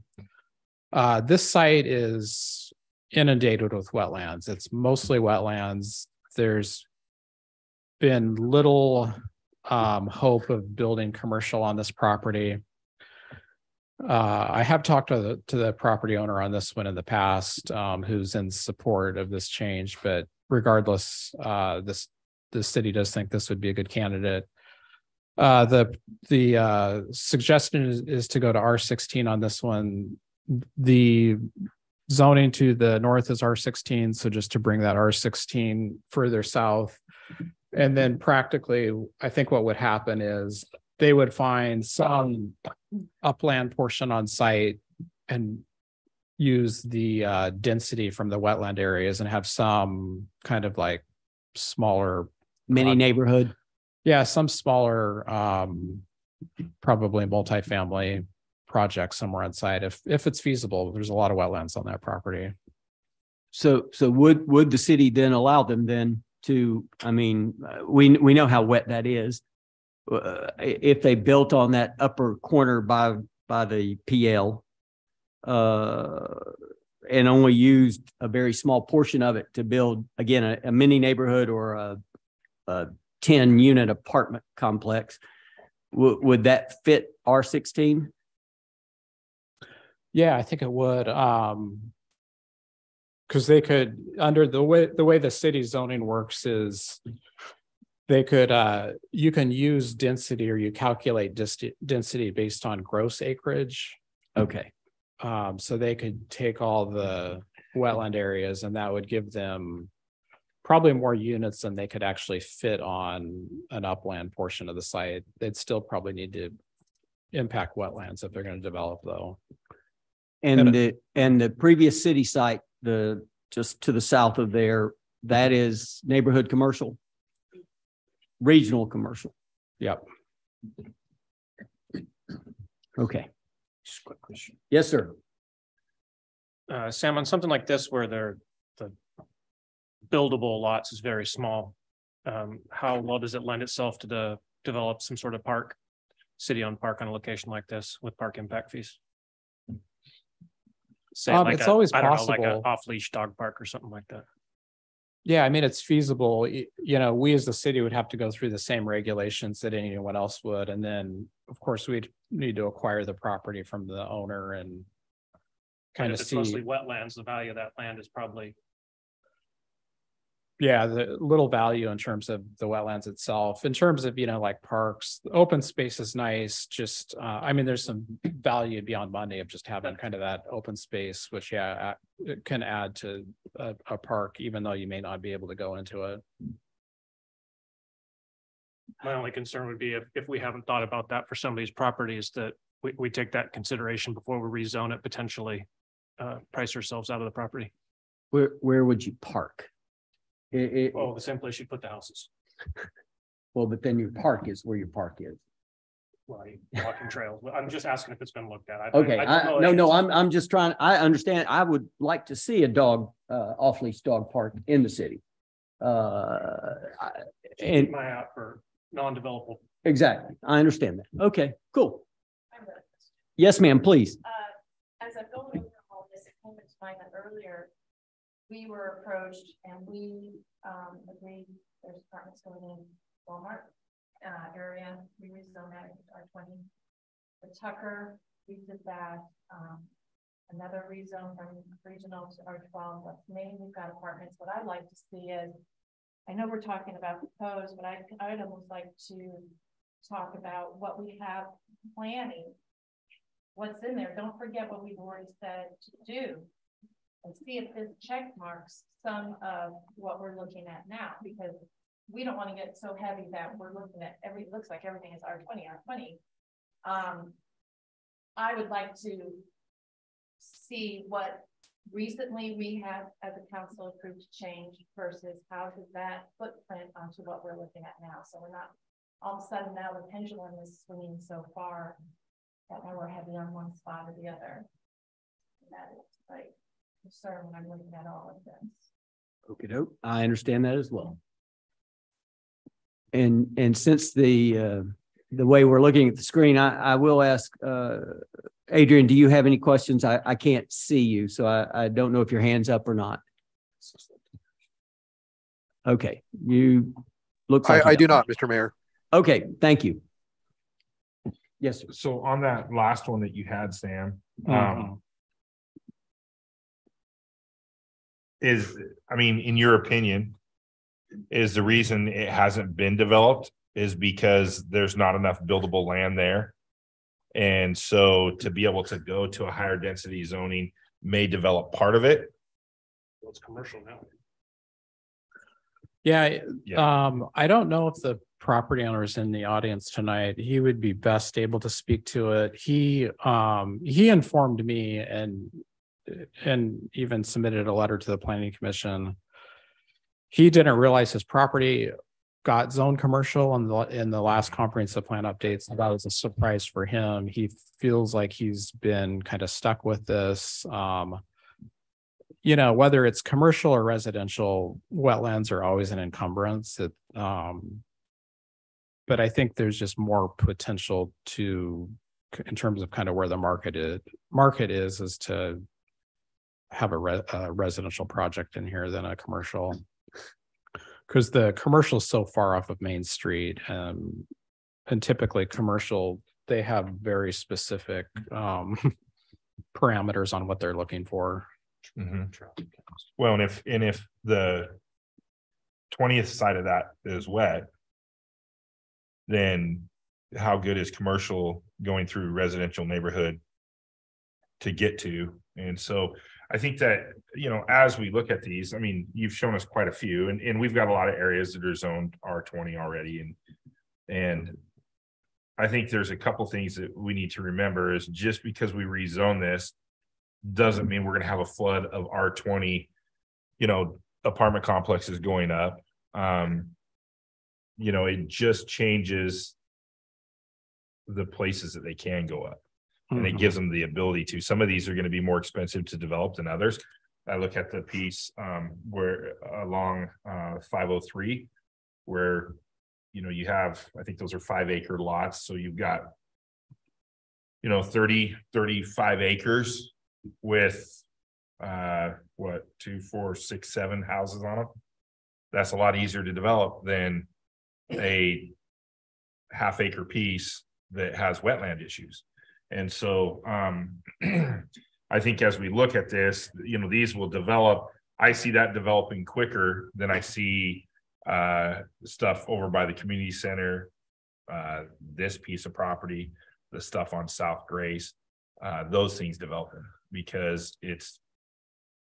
The, the developer's got to make money and it's gonna, it's an easier thing to develop than it is to to go through the hassle of, of doing a little acre here and there and trying to, trying to get, build an apartment complex you can make money on, so, or townhomes or whatever it is. But I think what it does, it just gives options out there to have more. And, and I don't know that this would all be apartment complexes. This could be condos, this could be, you know, that, that missing middle that we're talking about, um, to, you know, first, first time homes for Mhm. people that, that would allow it to be, um, a little bit easier to, to get into. Yeah, and to touch on Miss Davis's point, we specifically didn't, we uh, in-house, we came up with large sections of the city that we think probably need to go in a different direction of zoning, but we need to save that for our citywide comprehensive plan update where we're really looking. And that's going to be a two-year process. I'm talking about periodic review with the county. Um, because the goal isn't to kind of do, look at this sort of ad hoc. We wanted to look, we saw these five sites as maybe some low hanging fruit to do something now versus waiting two years later where we have kind of the bigger picture look uh, and say, okay, exactly what is the ratio of multifamily we want in the city versus single family? I can say right now, we still need to, we still could improve on getting more higher density and different housing types rather than single family. Even though um single family home, the single family home is still the most desirable product for anyone. That's that's what most people want. But I think what the housing action plan showed us was we first of all need to get people just into a home, you know, we first of all just need to do something to get people in homes and even get people in uh a starter home that may be attached, like a townhome or something like that. Well, the market will drive what's built. So, I mean, we see that as a council, we'll see. Um, when commercial's high, we see everyone want commercial. When residential's high, we see residential. If, if. If rent's high and, and there's a market, they'll build places to rent. But, um. You know, I think this goes back to what we, we talked about earlier this year and after the AWC conference of. You know, having, having opportunities for us to have um, different forms of housing for people to get into because when, when you're looking at, you know, housing that is, I would consider first time home, fifteen hundred to eighteen hundred square feet, and it's six hundred fifty thousand dollars.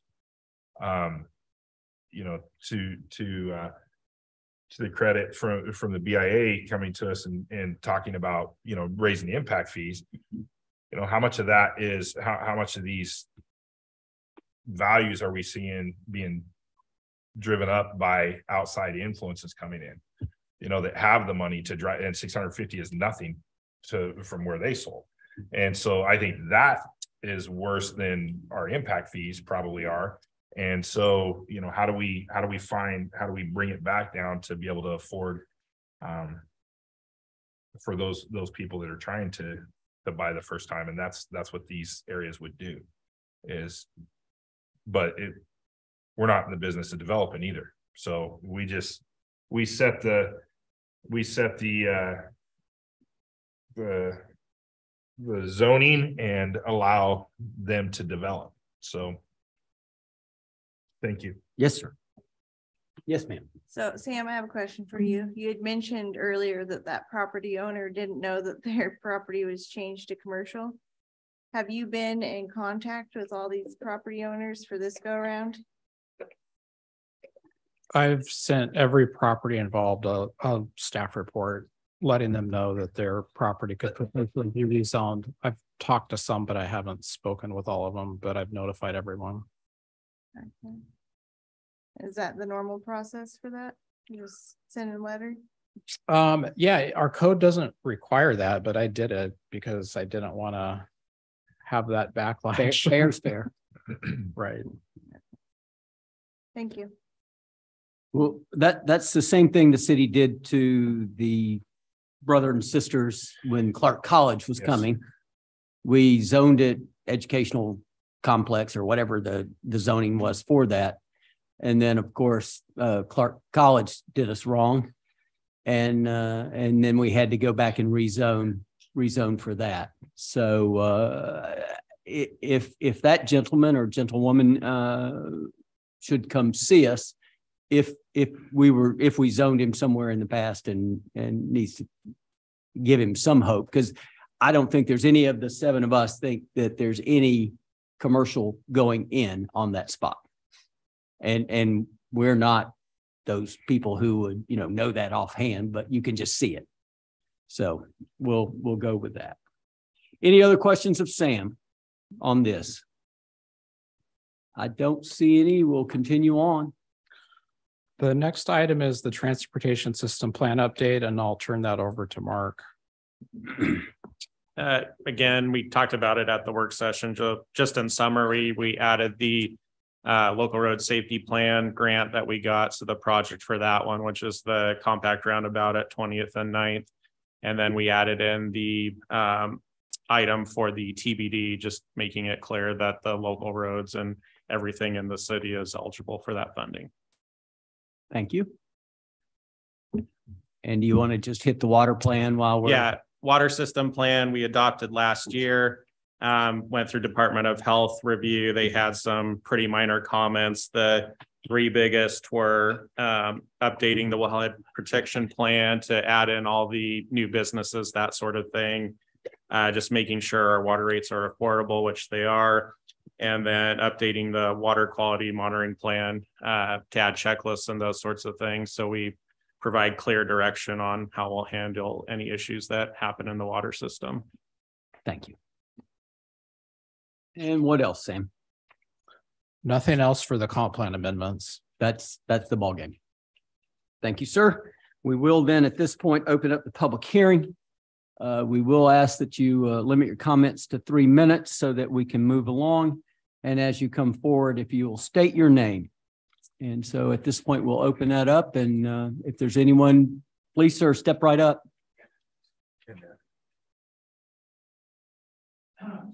Howard Hanson, uh, two four zero zero two northeast one twentieth court Battle Ground. Yes, sir. On site number four, I believe it was. Could they bring that? Sam, can you, can you go back?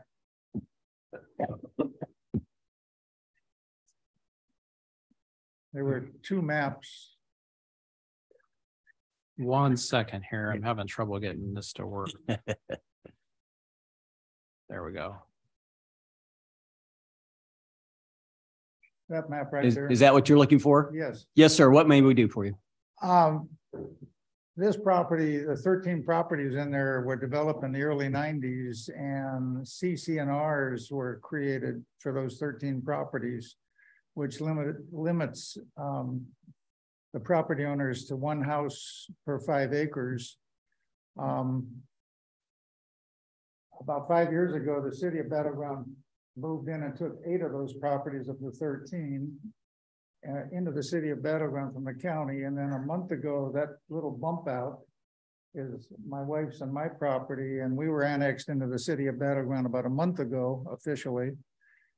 And my, uh, my question is, uh, does zoning, whatever the zoning is, does that supersede CCNRs? Or does it matter what the zoning is as long as CCNRs are in place? Because there's quite a bit of opposition in the, in that group of, of thirteen homes to, to battle the CCNRs. The CCNRs are actually in litigation right now. And I'm just curious if that zoning change would affect the CCNRs. Is Mr. Ellis with us? Or, or do you know without is. having to ask him? I can refer to Mr. Ellis, but to get started, CCNRs are on the private side. So um, no matter what the city zones that property at, the developer and the owners or the HOA that are involved with the CCNRs would, t- would address those issues separately. But uh, Mr. Ellis can chime in on that as well. Okay. Yes, uh, Ms. Erdman is correct on that issue. Uh, the litigation that the gentleman is referring to, I have not heard of that. I'm, I don't know who's speaking. It's our attorney. It's our attorney. Uh, yeah. He's on- he's on- Yeah, there's, um, the developer who I think is represented here, I think initiated the litigation because of the CCNRs. It was their opinion that the CCNRs affected their ability to develop the property because they, they're interested in developing those acres, those acres that are shown there. And since my wife and I came into the city of Battle Ground a month ago, we would like to be added into that rezoning if we could be. I think we're now R seven. Uh, and if we could be included with the properties to the south of us, that would be terrific. But uh, the CCNRs are currently in litigation. My wife and I are one of the plaintiffs. We're, we're suing to overturn the CCNRs. Um, but there's others in the audience probably on the other side also. Pleasure, pleasure to see you, Mr. Hanson. Anyone else? Anyone else? Yes, sir. Please.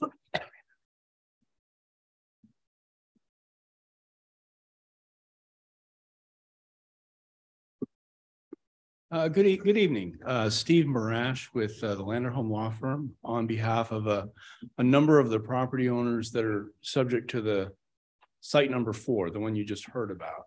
Um, and, and I'm the attorney that filed the lawsuit, uh, on the CCNRs, and I don't really want to talk much about a lawsuit because it's not for you. That's for the courts to decide. The only thing I will Not our say- interest. the only thing I will say is regardless of whether the zone change is approved or not, the lawsuit is going to proceed and development will occur if we're successful in the lawsuit. Um, so I don't think it's a relevant issue for your consideration. Um, I did want to talk briefly about site four.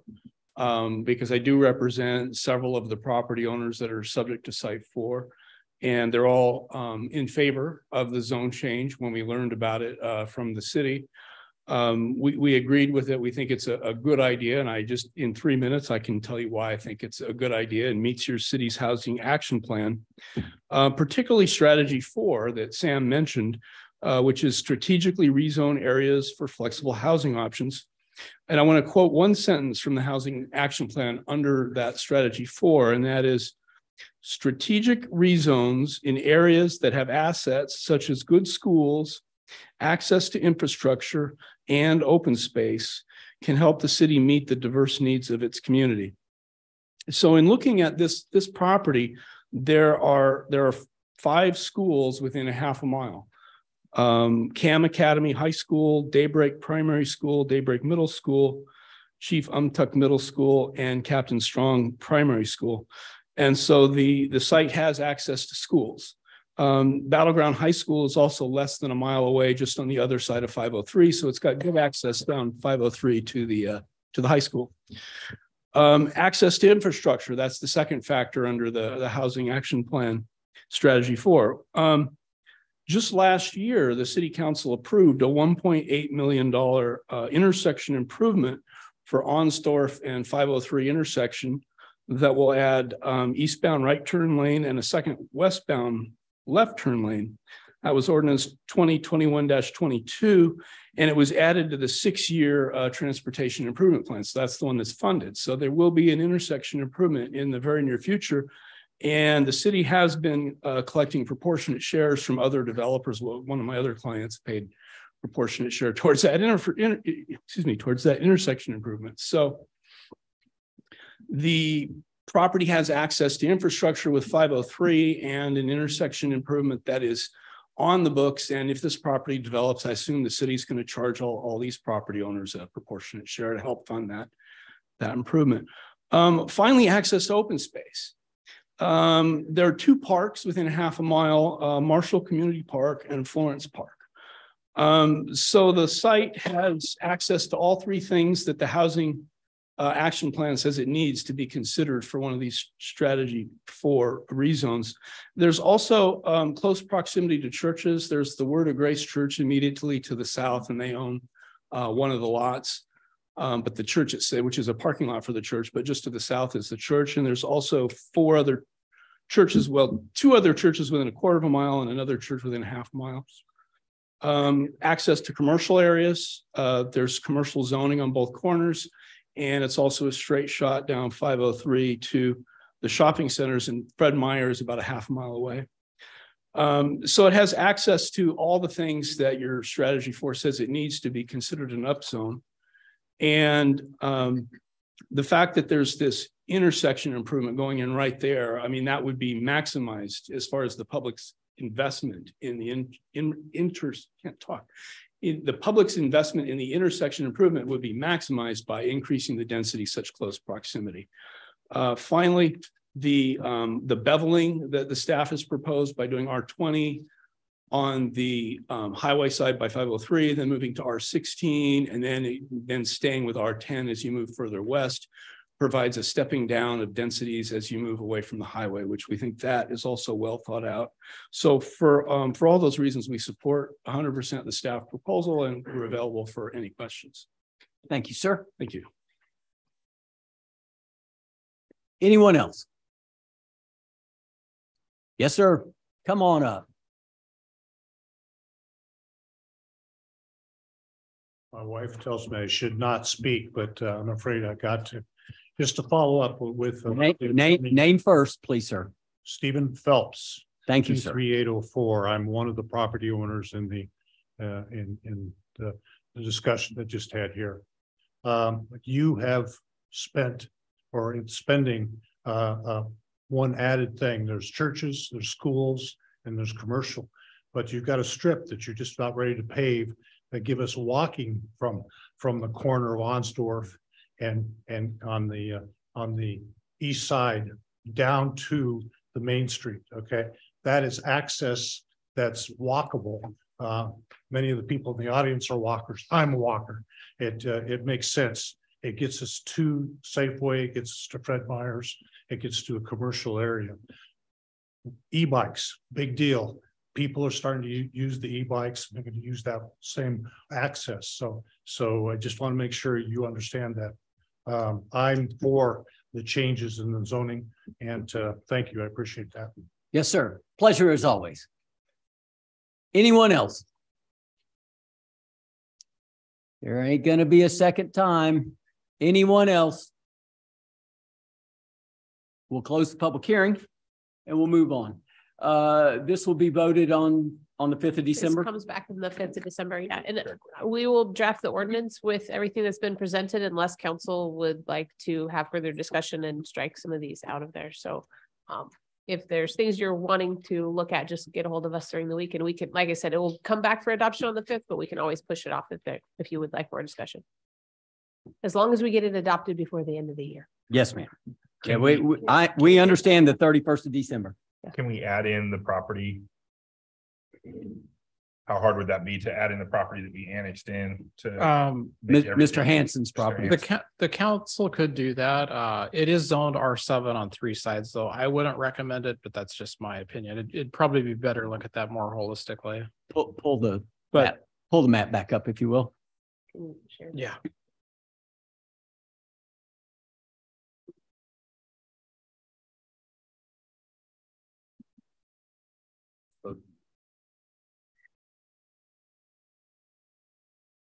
share? Yeah. The rest is county though, right? The rest is county, right? See, I, I mean, me personally, I would. I would like it to be the same as everything else that's in the city. That's, that's there. Yeah, i- If we if, if you're to do that, then uh, R sixteen would be the appropriate designation. Yep. So, so you're splitting the R twenty at, uh, hundred and twentieth court? Yeah, Is that what you're doing? yeah. It Yeah, R20, roughly, Then R sixteen, yeah. and then sixteen on the, on Yeah. the west side. Right, so Oh, Okay, I see it. I see it. Uh, I have no problem with that. That's one of the benefits of being in the city. Does an- anyone have a, yes, ma'am? I'm okay with that as well, but can we talk about taking these two from Grace out? Hold, hold, let's finish with Mr. Hanson first. Does anyone have any problems with, uh, Mr. Hanson's property? I don't know the address, so it doesn't really matter at this point.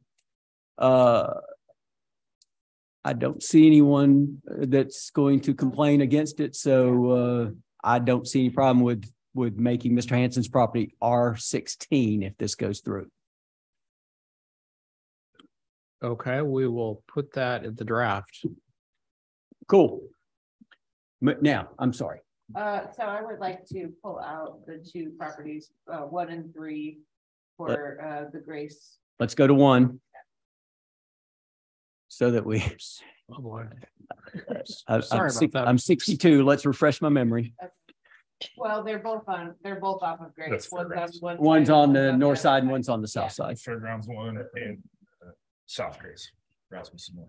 And, and again, your, your part on that was until the intersection at Main and Grace is Correct, corrected, yeah. then I can see the logic in that. you don't see the, the need to bump that up. Correct. They would, they would be responsible for that failure. Is that correct, Mark? If, if they were to go in there and develop, Yes, so right now we're collecting for the intersection specifically, so until we collect all of those funds, anyone that develops in the time frame pays that fee per trip. so all of those new developments going up Grace, uh, going north uh, on the right-hand side, they're all paying towards, Yeah, the The one on, the one on the left side, the one on the right side, they've all been paying towards the project. okay. But there's no proposed project for this right now. Yeah, that's a good point. There's no proposed project on this. It potentially could be developed next year or five 10 years from now or ten years from now. This is just strictly um a zone change, kind of thinking more about holistically densities throughout the city. And I would agree with Councilmember Walters on that, then, I mean, if. There's no, there, none of this is going to be adding money into the Grace intersection and just based on my short time frame, And I still see in a church that's standing on, on Main Street.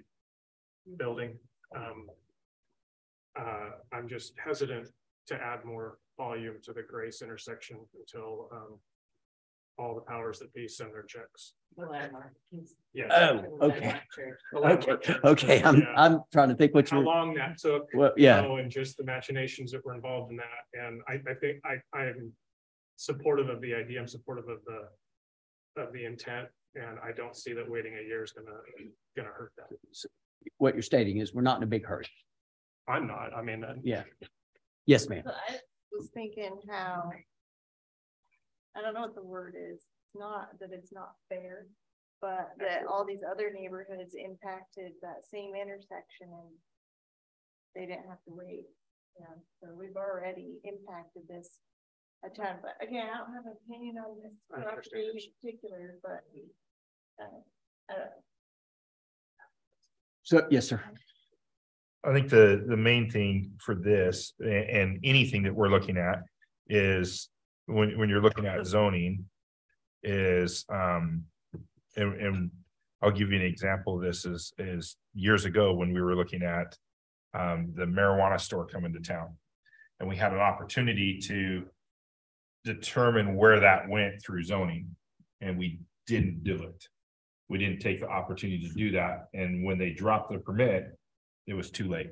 And so then they were able to go into where they're at, where we could have zoned where it was only in commercial or uh industrial areas, things like that that the other cities were doing. So my my view on this is is is you know, to take the same point that you guys are saying, no one's developing this right now.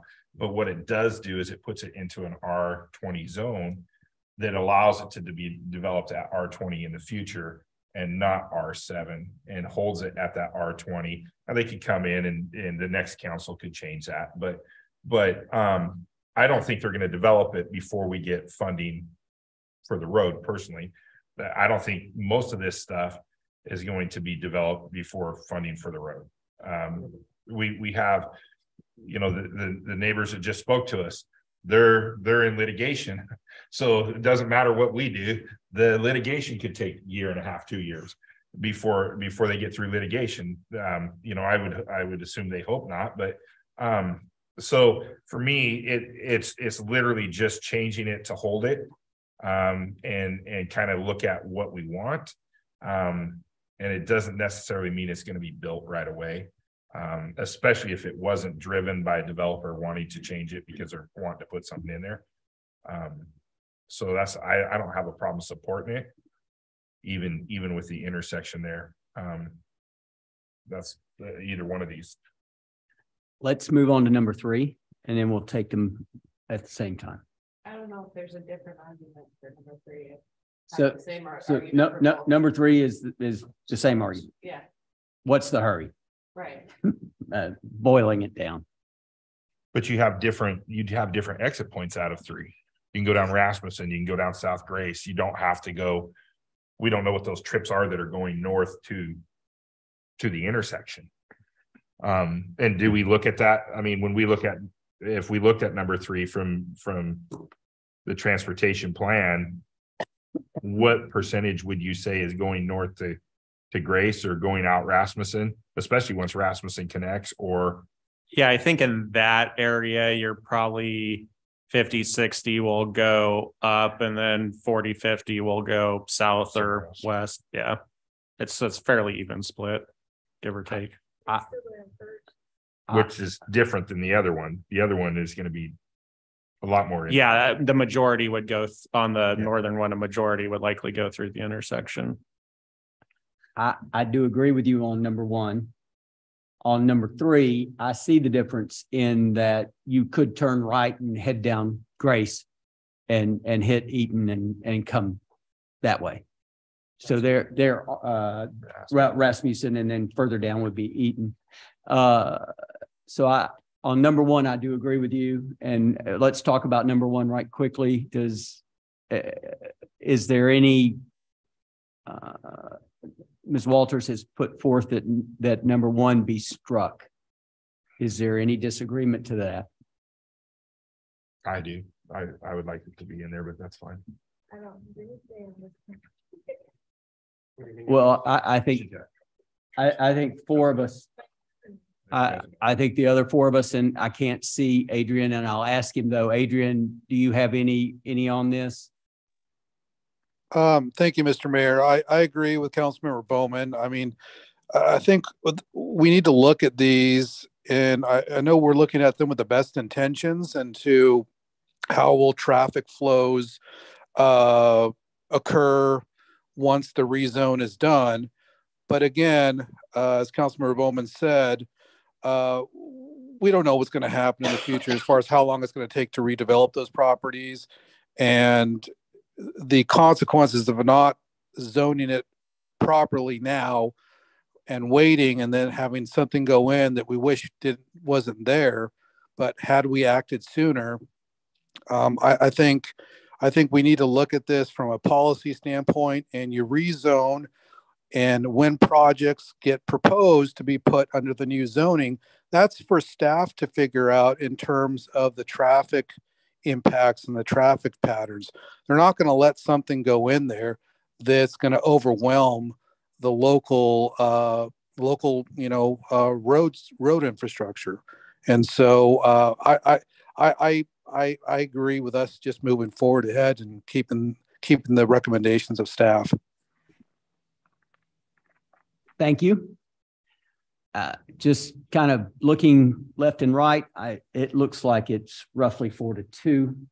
So, uh, Sam, I believe the consensus is that number one be struck. Okay. Moving on to number three. Uh, number three, in my vision, is different and is, is worthy of remaining. I will look left and right and we'll see how that rolls. You're fine with that? I'm okay. You, I'm you okay can get, that. you can Yeah. kind of see it. Yeah. Mr. Cortes, sir, you? yeah mr mayor i i'm i'm, I'm fine with it too as well Thank you, sir. And so number three stays. So we're two, three, and four stay. Okey doke. Moving on. Uh, operating and capital improvement. And five. And five. I'm sorry, I thought there, yeah. I, I did miss something. No, I was scrolling through, I'm like, wait a second. I did, you didn't miss anything, I did. So two, two through five. Got it. Uh, we're moving on to uh, ordinance number twenty-two eleven fiscal year twenty-three operating and capital improvement budget. Ms. Erdman and Ms. Lowry. Thank you. Yes, so in front of you is going to be, well, you've seen it already. We've gone through it, but I will turn it over to Miss Lowry to go through the operating budget. Good evening, council. Before you is the twenty twenty-three budget. And council has an opportunity to accept public comment on the budget. So staff recommends opening up the public hearing. Thank you. Uh, I will open up the public hearing. Is there anyone that wishes to comment on the, uh, on the budget?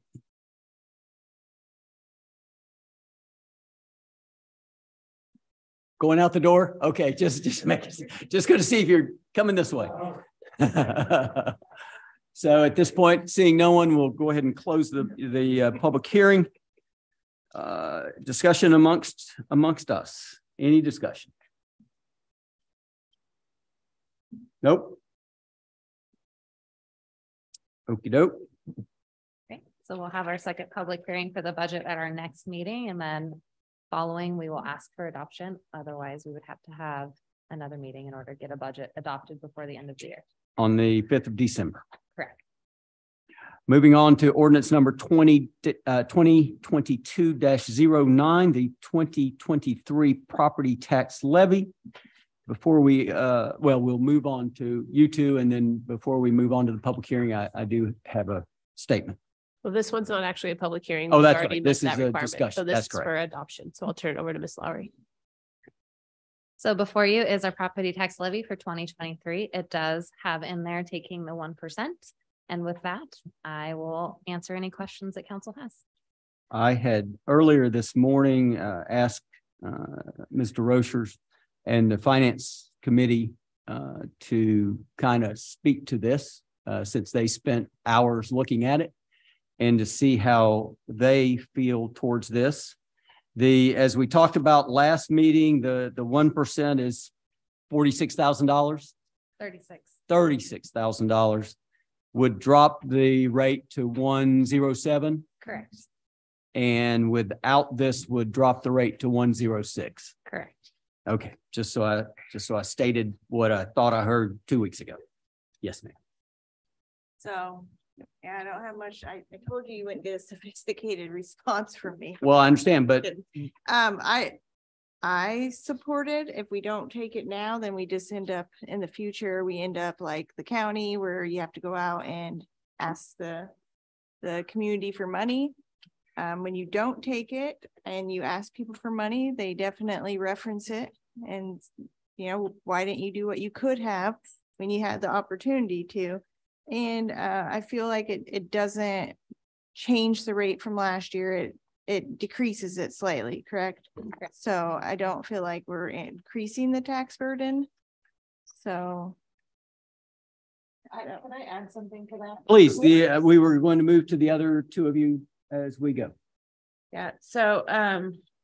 The other, the other thing that um wasn't mentioned was that um this is um a way to. Get the new people moving in Oh, yeah. to pay the same, same rate that the, that the rest of us are already paying now, so. Okay. Yeah. Cool. Make it equitable. Ms. Davis, any, anything from you? Well, I believe I'm probably gonna be very unpopular, but that when you say it's a decrease, it's because we had. We, last year we did the full amount, so to say it's a decrease on my part, it's not, I feel that. With the situation that we're in and inflation and the gas tax going up and the other taxes, I, I can't. Vote in favor of increasing this, I would like to, uh, I would say no, I'm not in favor of it. Okay, doke. Just want to let everybody know. And we'll open up to everyone else at this point. Can we clarify what it was last year? So when we say the decrease, it's for the levy rate itself. So the levy rate went from a dollar twenty-two to either a dollar six or a dollar seven. When you're looking at the difference between the two columns that are in your report of what someone would pay based upon their assessed value with the dollar six versus the dollar seven, it's about a five dollar difference, and that is highly dependent upon what their increase personally was for their property with their AV. If it's above the 15, 20 percent, they will see an increase regardless of taking zero percent or one percent. It's just a five dollar difference between the two across the board, regardless of increase in AV, if that makes sense. I was thinking, was it just the one percent that we took last year? Last year, I believe we We- took the banked the capacity as bank. well.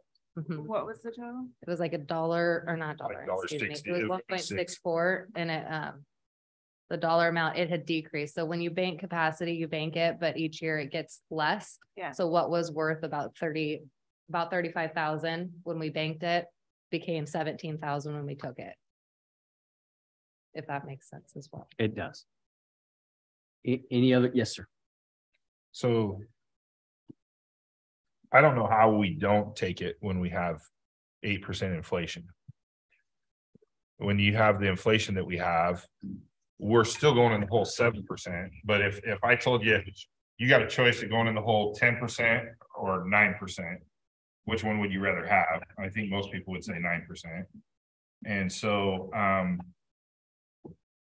You know, this, it's crazy to me because this is, this is something that was a, you know, passed through the state, voted on by the people.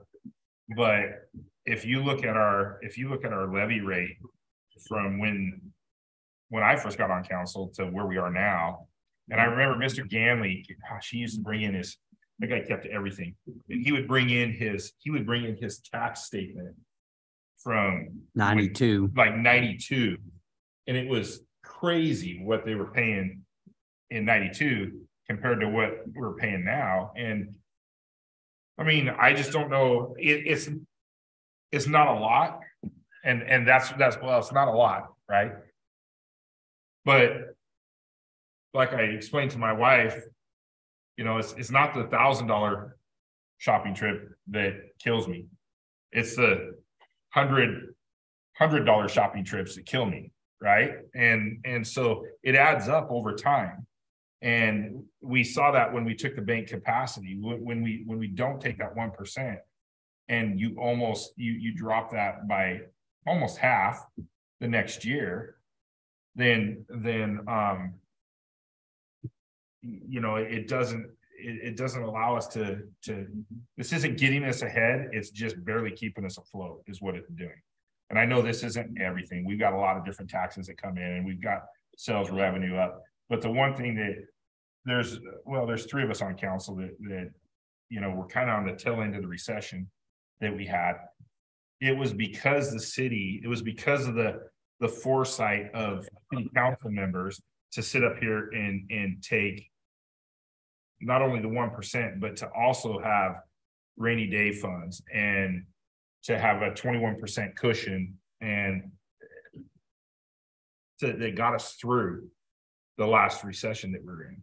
And we've lowered all of that stuff. We've, we've, we've, we've lowered our, um, utility taxes. We've lowered, um, we, we have less millage rate now than, than, than then. And this is gonna continue to go down if we have inflation, continue to do what it does. Um, we lost fifteen cents this year. That's, that's quite a bit. Um, and you do this for two, three years and we'll be going to the voters asking for a lid lift. And like Mr. Ganley used to say about C-Tran, it's easier to take five cents at a time than it is to go ask for fifty. And that's, that's what, that's what we're seeing here is, is, um, you know, thirty-five thousand dollars is a half of a police car. It's, uh, you know, a part-time employee working during the summertime for beautification. So, um, I know it's not a lot in the grand scheme of a budget, but I think it's, it's, it's responsible of us to take it when we have the inflation that we have. I just want to point out the Bill Ganley example that you stated in nineteen ninety-three for his home, it was five hundred and seventy-four dollars.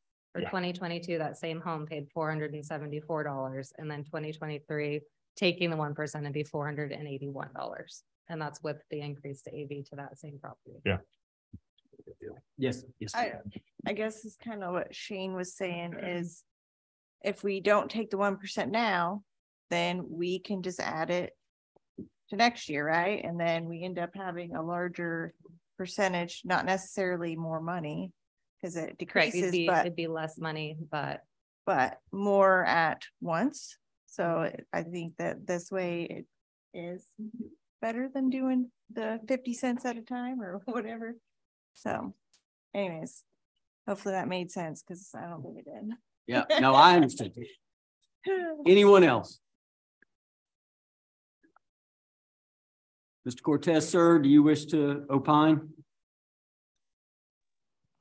Thank you very much, Mr. Mayor. Um, I don't want to give this any more attention than it deserves because like, uh, Councilmember Bowman s- stated, it's just one of several revenue streams that come in, into the city.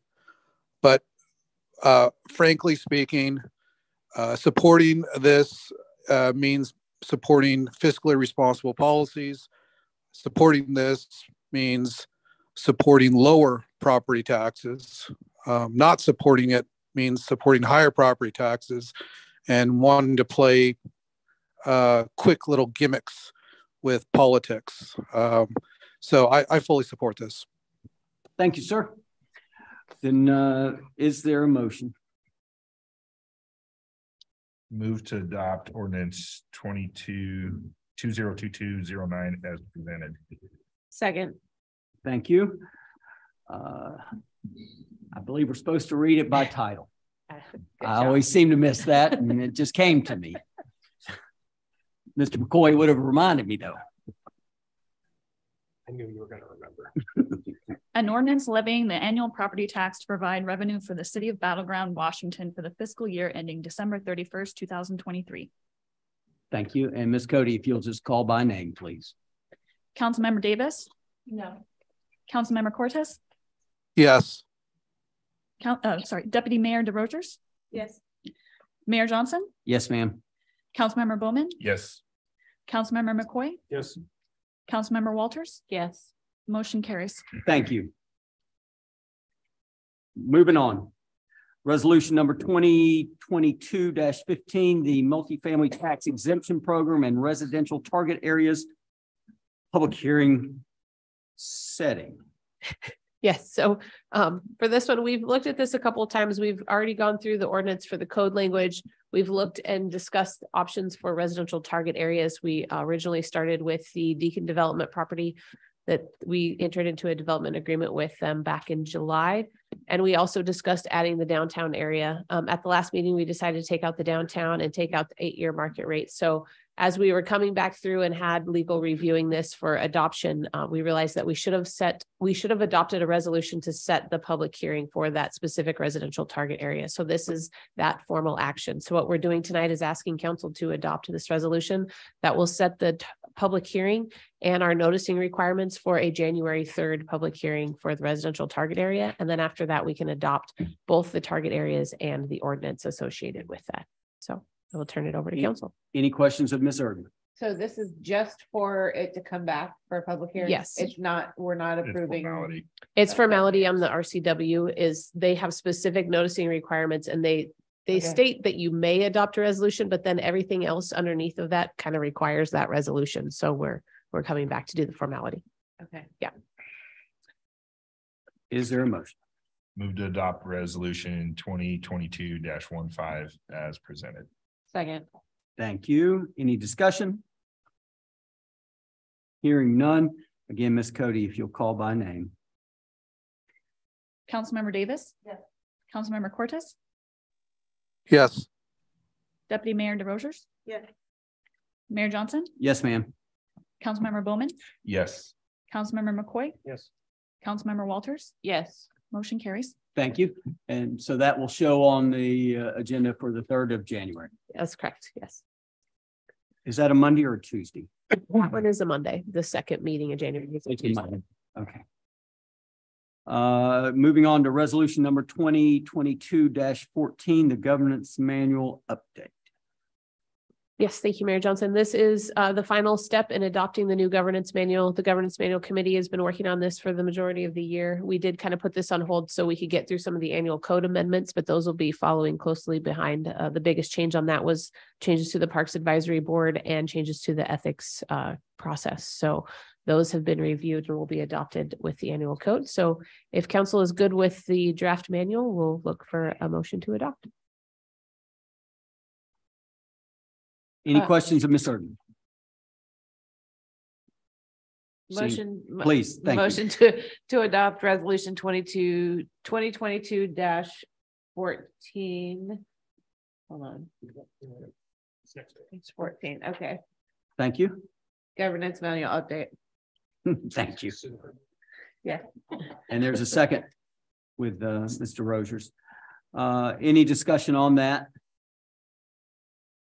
And we'll just call for a vote, vote, voice, God, I can't say that. Uh, A voice vote, vote. You all have a turkey early. Wow. Uh, All in favor? Aye. Aye. Any opposed?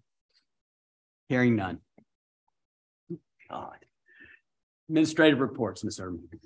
Yes, we have one administrative report from Mr. Crummett this evening. It's associated with Mill Creek property agreement that is also tied to a zone change with the comp plan amendment. So I will turn it over to Mr. Crummett. Okay, you might remember during our January fifth meeting when we heard the developer initiated zone changes that there's one property referred to as the Mill Creek property.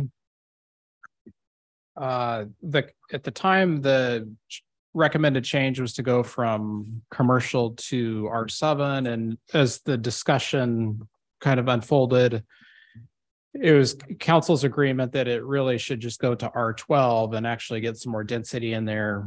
Uh, to bring middle housing, that was the popular phrase of the evening- evening, uh, bring middle housing into the city. Uh, and a development agreement was recommended because the council didn't necessarily just want an apartment complex in there, but maybe some product that would encourage home ownership. So uh, I think townhomes was really the product that um seemed feasible uh for the applicant. I've worked with the applicant's attorney as well as our contract city attorney, and we put together uh, what's called a concomitant agreement. Um, and that's actually kind of simpler than a DA. Since we don't really actually have a project at this point, but attached is the concomitant agreement. Um, and it's ready to kind of be signed at our next meeting, December fifth. If there's any questions, I'll hear those now. Th- this is Joe the Body Shop's property.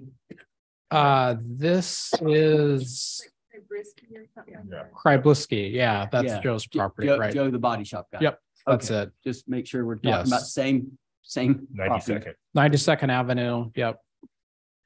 I would ask you what can, can whatever is, but I'm, I'm gonna pass.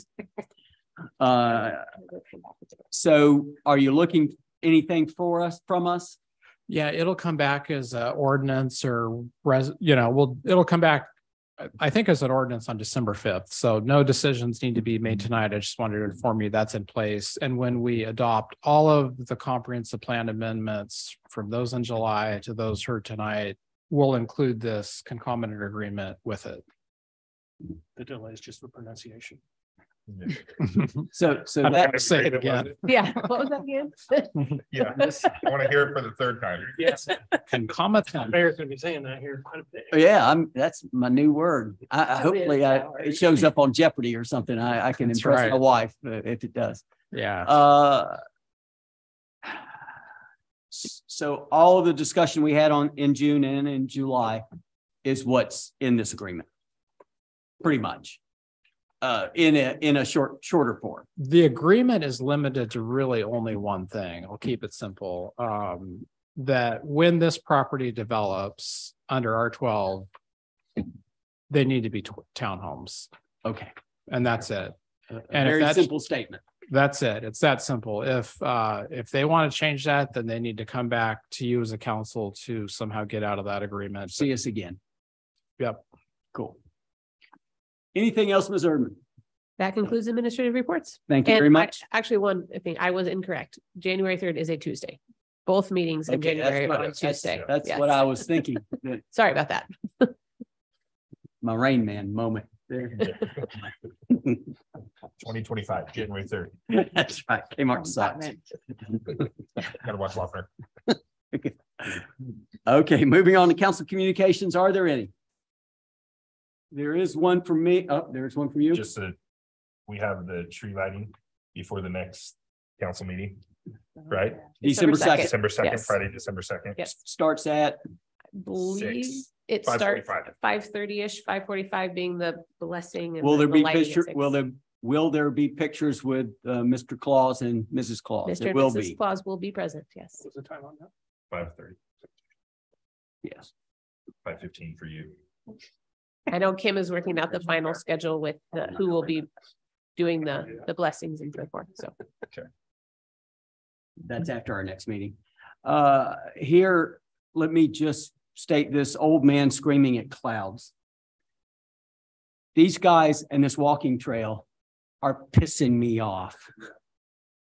Sunny days, thirteen of them according, fourteen of them according to the weatherman. These dudes ain't showing. How much have we paid them, Megan? Talking about the five oh three. half a The walking trail. Yeah. It- they, they billed us a million dollars. We, we, we've paid them five hundred thousand dollars for, since the first of April. They were supposed to be done Halloween. I'm not walking on it.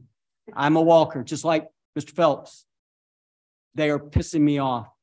I'm going to ask the council that we make a resolution that we not pay them one more dime until it's completed and signed off by you.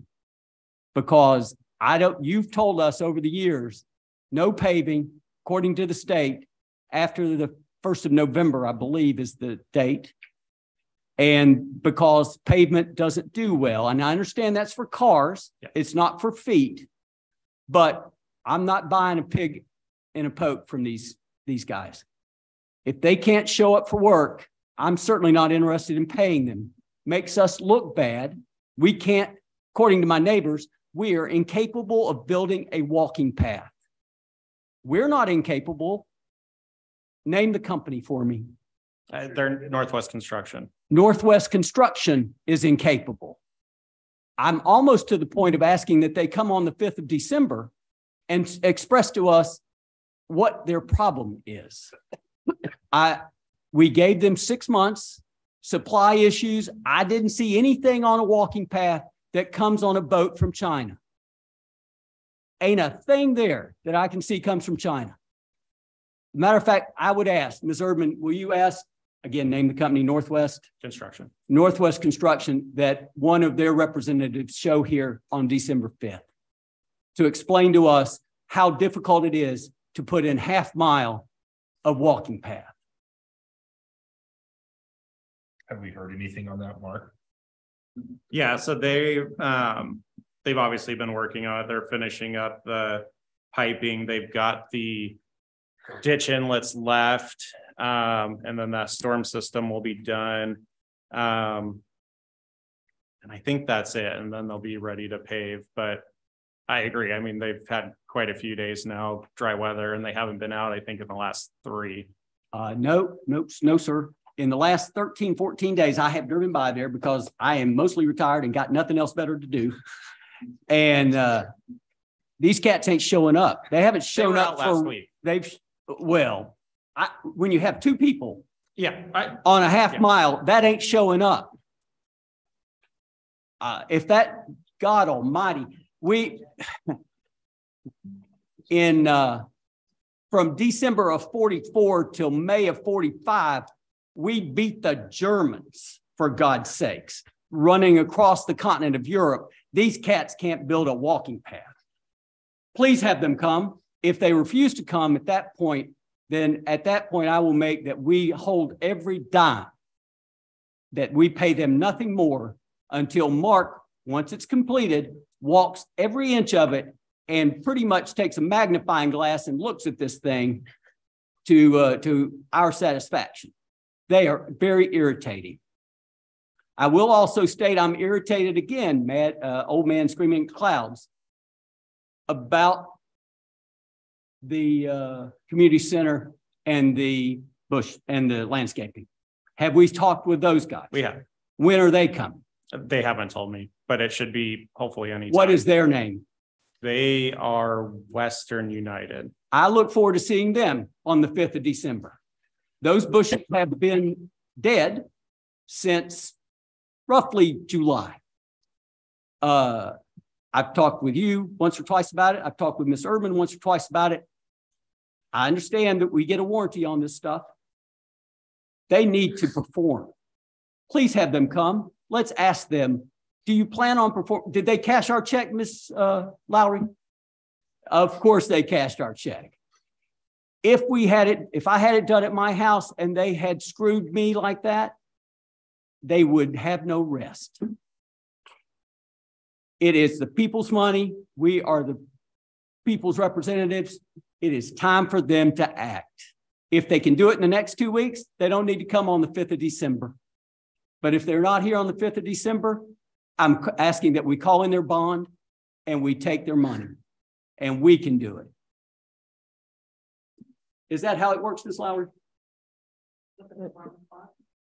With a performance bond? I'll let Mark speak to it better because he's actually. Yeah, so we've got. Well, there's two projects here. So on the community center, we've got the maintenance bond. So yeah, if we wanted to pursue it, we would call it in. We essentially would go to the bonding company and say, hey, we've got this issue. We've talked to the contractor, they won't do it, so you need to pony up. I- If, Uh, they're not here on the fifth of December, on the sixth of December, Ms. Erdman, I will ask the council on the fifth to authorize you to call the maintenance bond and we call it in.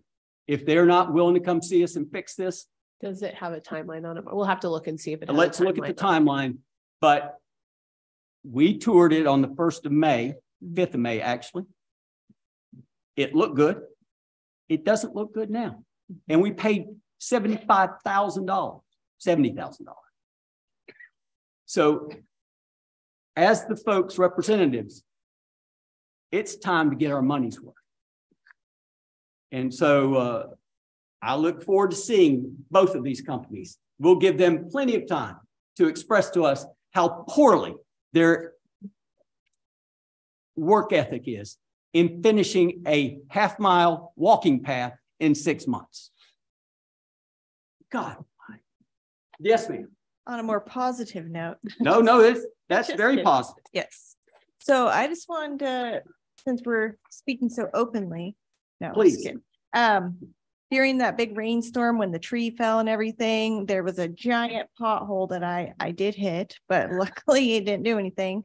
Anyways, I went to go check on it later on and I saw a pothole about this big. I called into PD, uh, non-emergency to get somebody out there to put some cones out there as I waved everybody to not hit the pothole. Anyways, an officer responded and put some cones out. And then within that same day, somebody from Public Works came in and filled it with um asphalt. Like literally same day, it was repaired. And so I thought that was so handy that I reported some other potholes and they fixed those too. So I just wanted to say that I really, Reason we don't have a trail done. yeah. Shall we refer to you as You the know what? pothole princess? Yeah. But anyways, I just you wanted build to a say, walking path? Potholes. yeah, I mean. Start to Maine. In a gravel section. anyways, I just want to say that I was appreciative of how quickly they worked. I was, I was very impressed. Thank you, thank you. And so uh, I'll finish with this from the angry old man screaming at clouds. I wish all of you the best of Thanksgivings. The city will be closed on Friday, Thursday and Friday. Thursday and, of course, Thursday and Friday. Our next meeting will be December fifth. Is there, uh, there will not be a study session. We don't think we have one. scheduled We're, we are meeting uh, to discuss the, uh, Yes, uh, Yeah. an employee. exactly. An, yes, an executive session. So uh, until then, have a wonderful Thanksgiving and we'll see you on the fifth of December.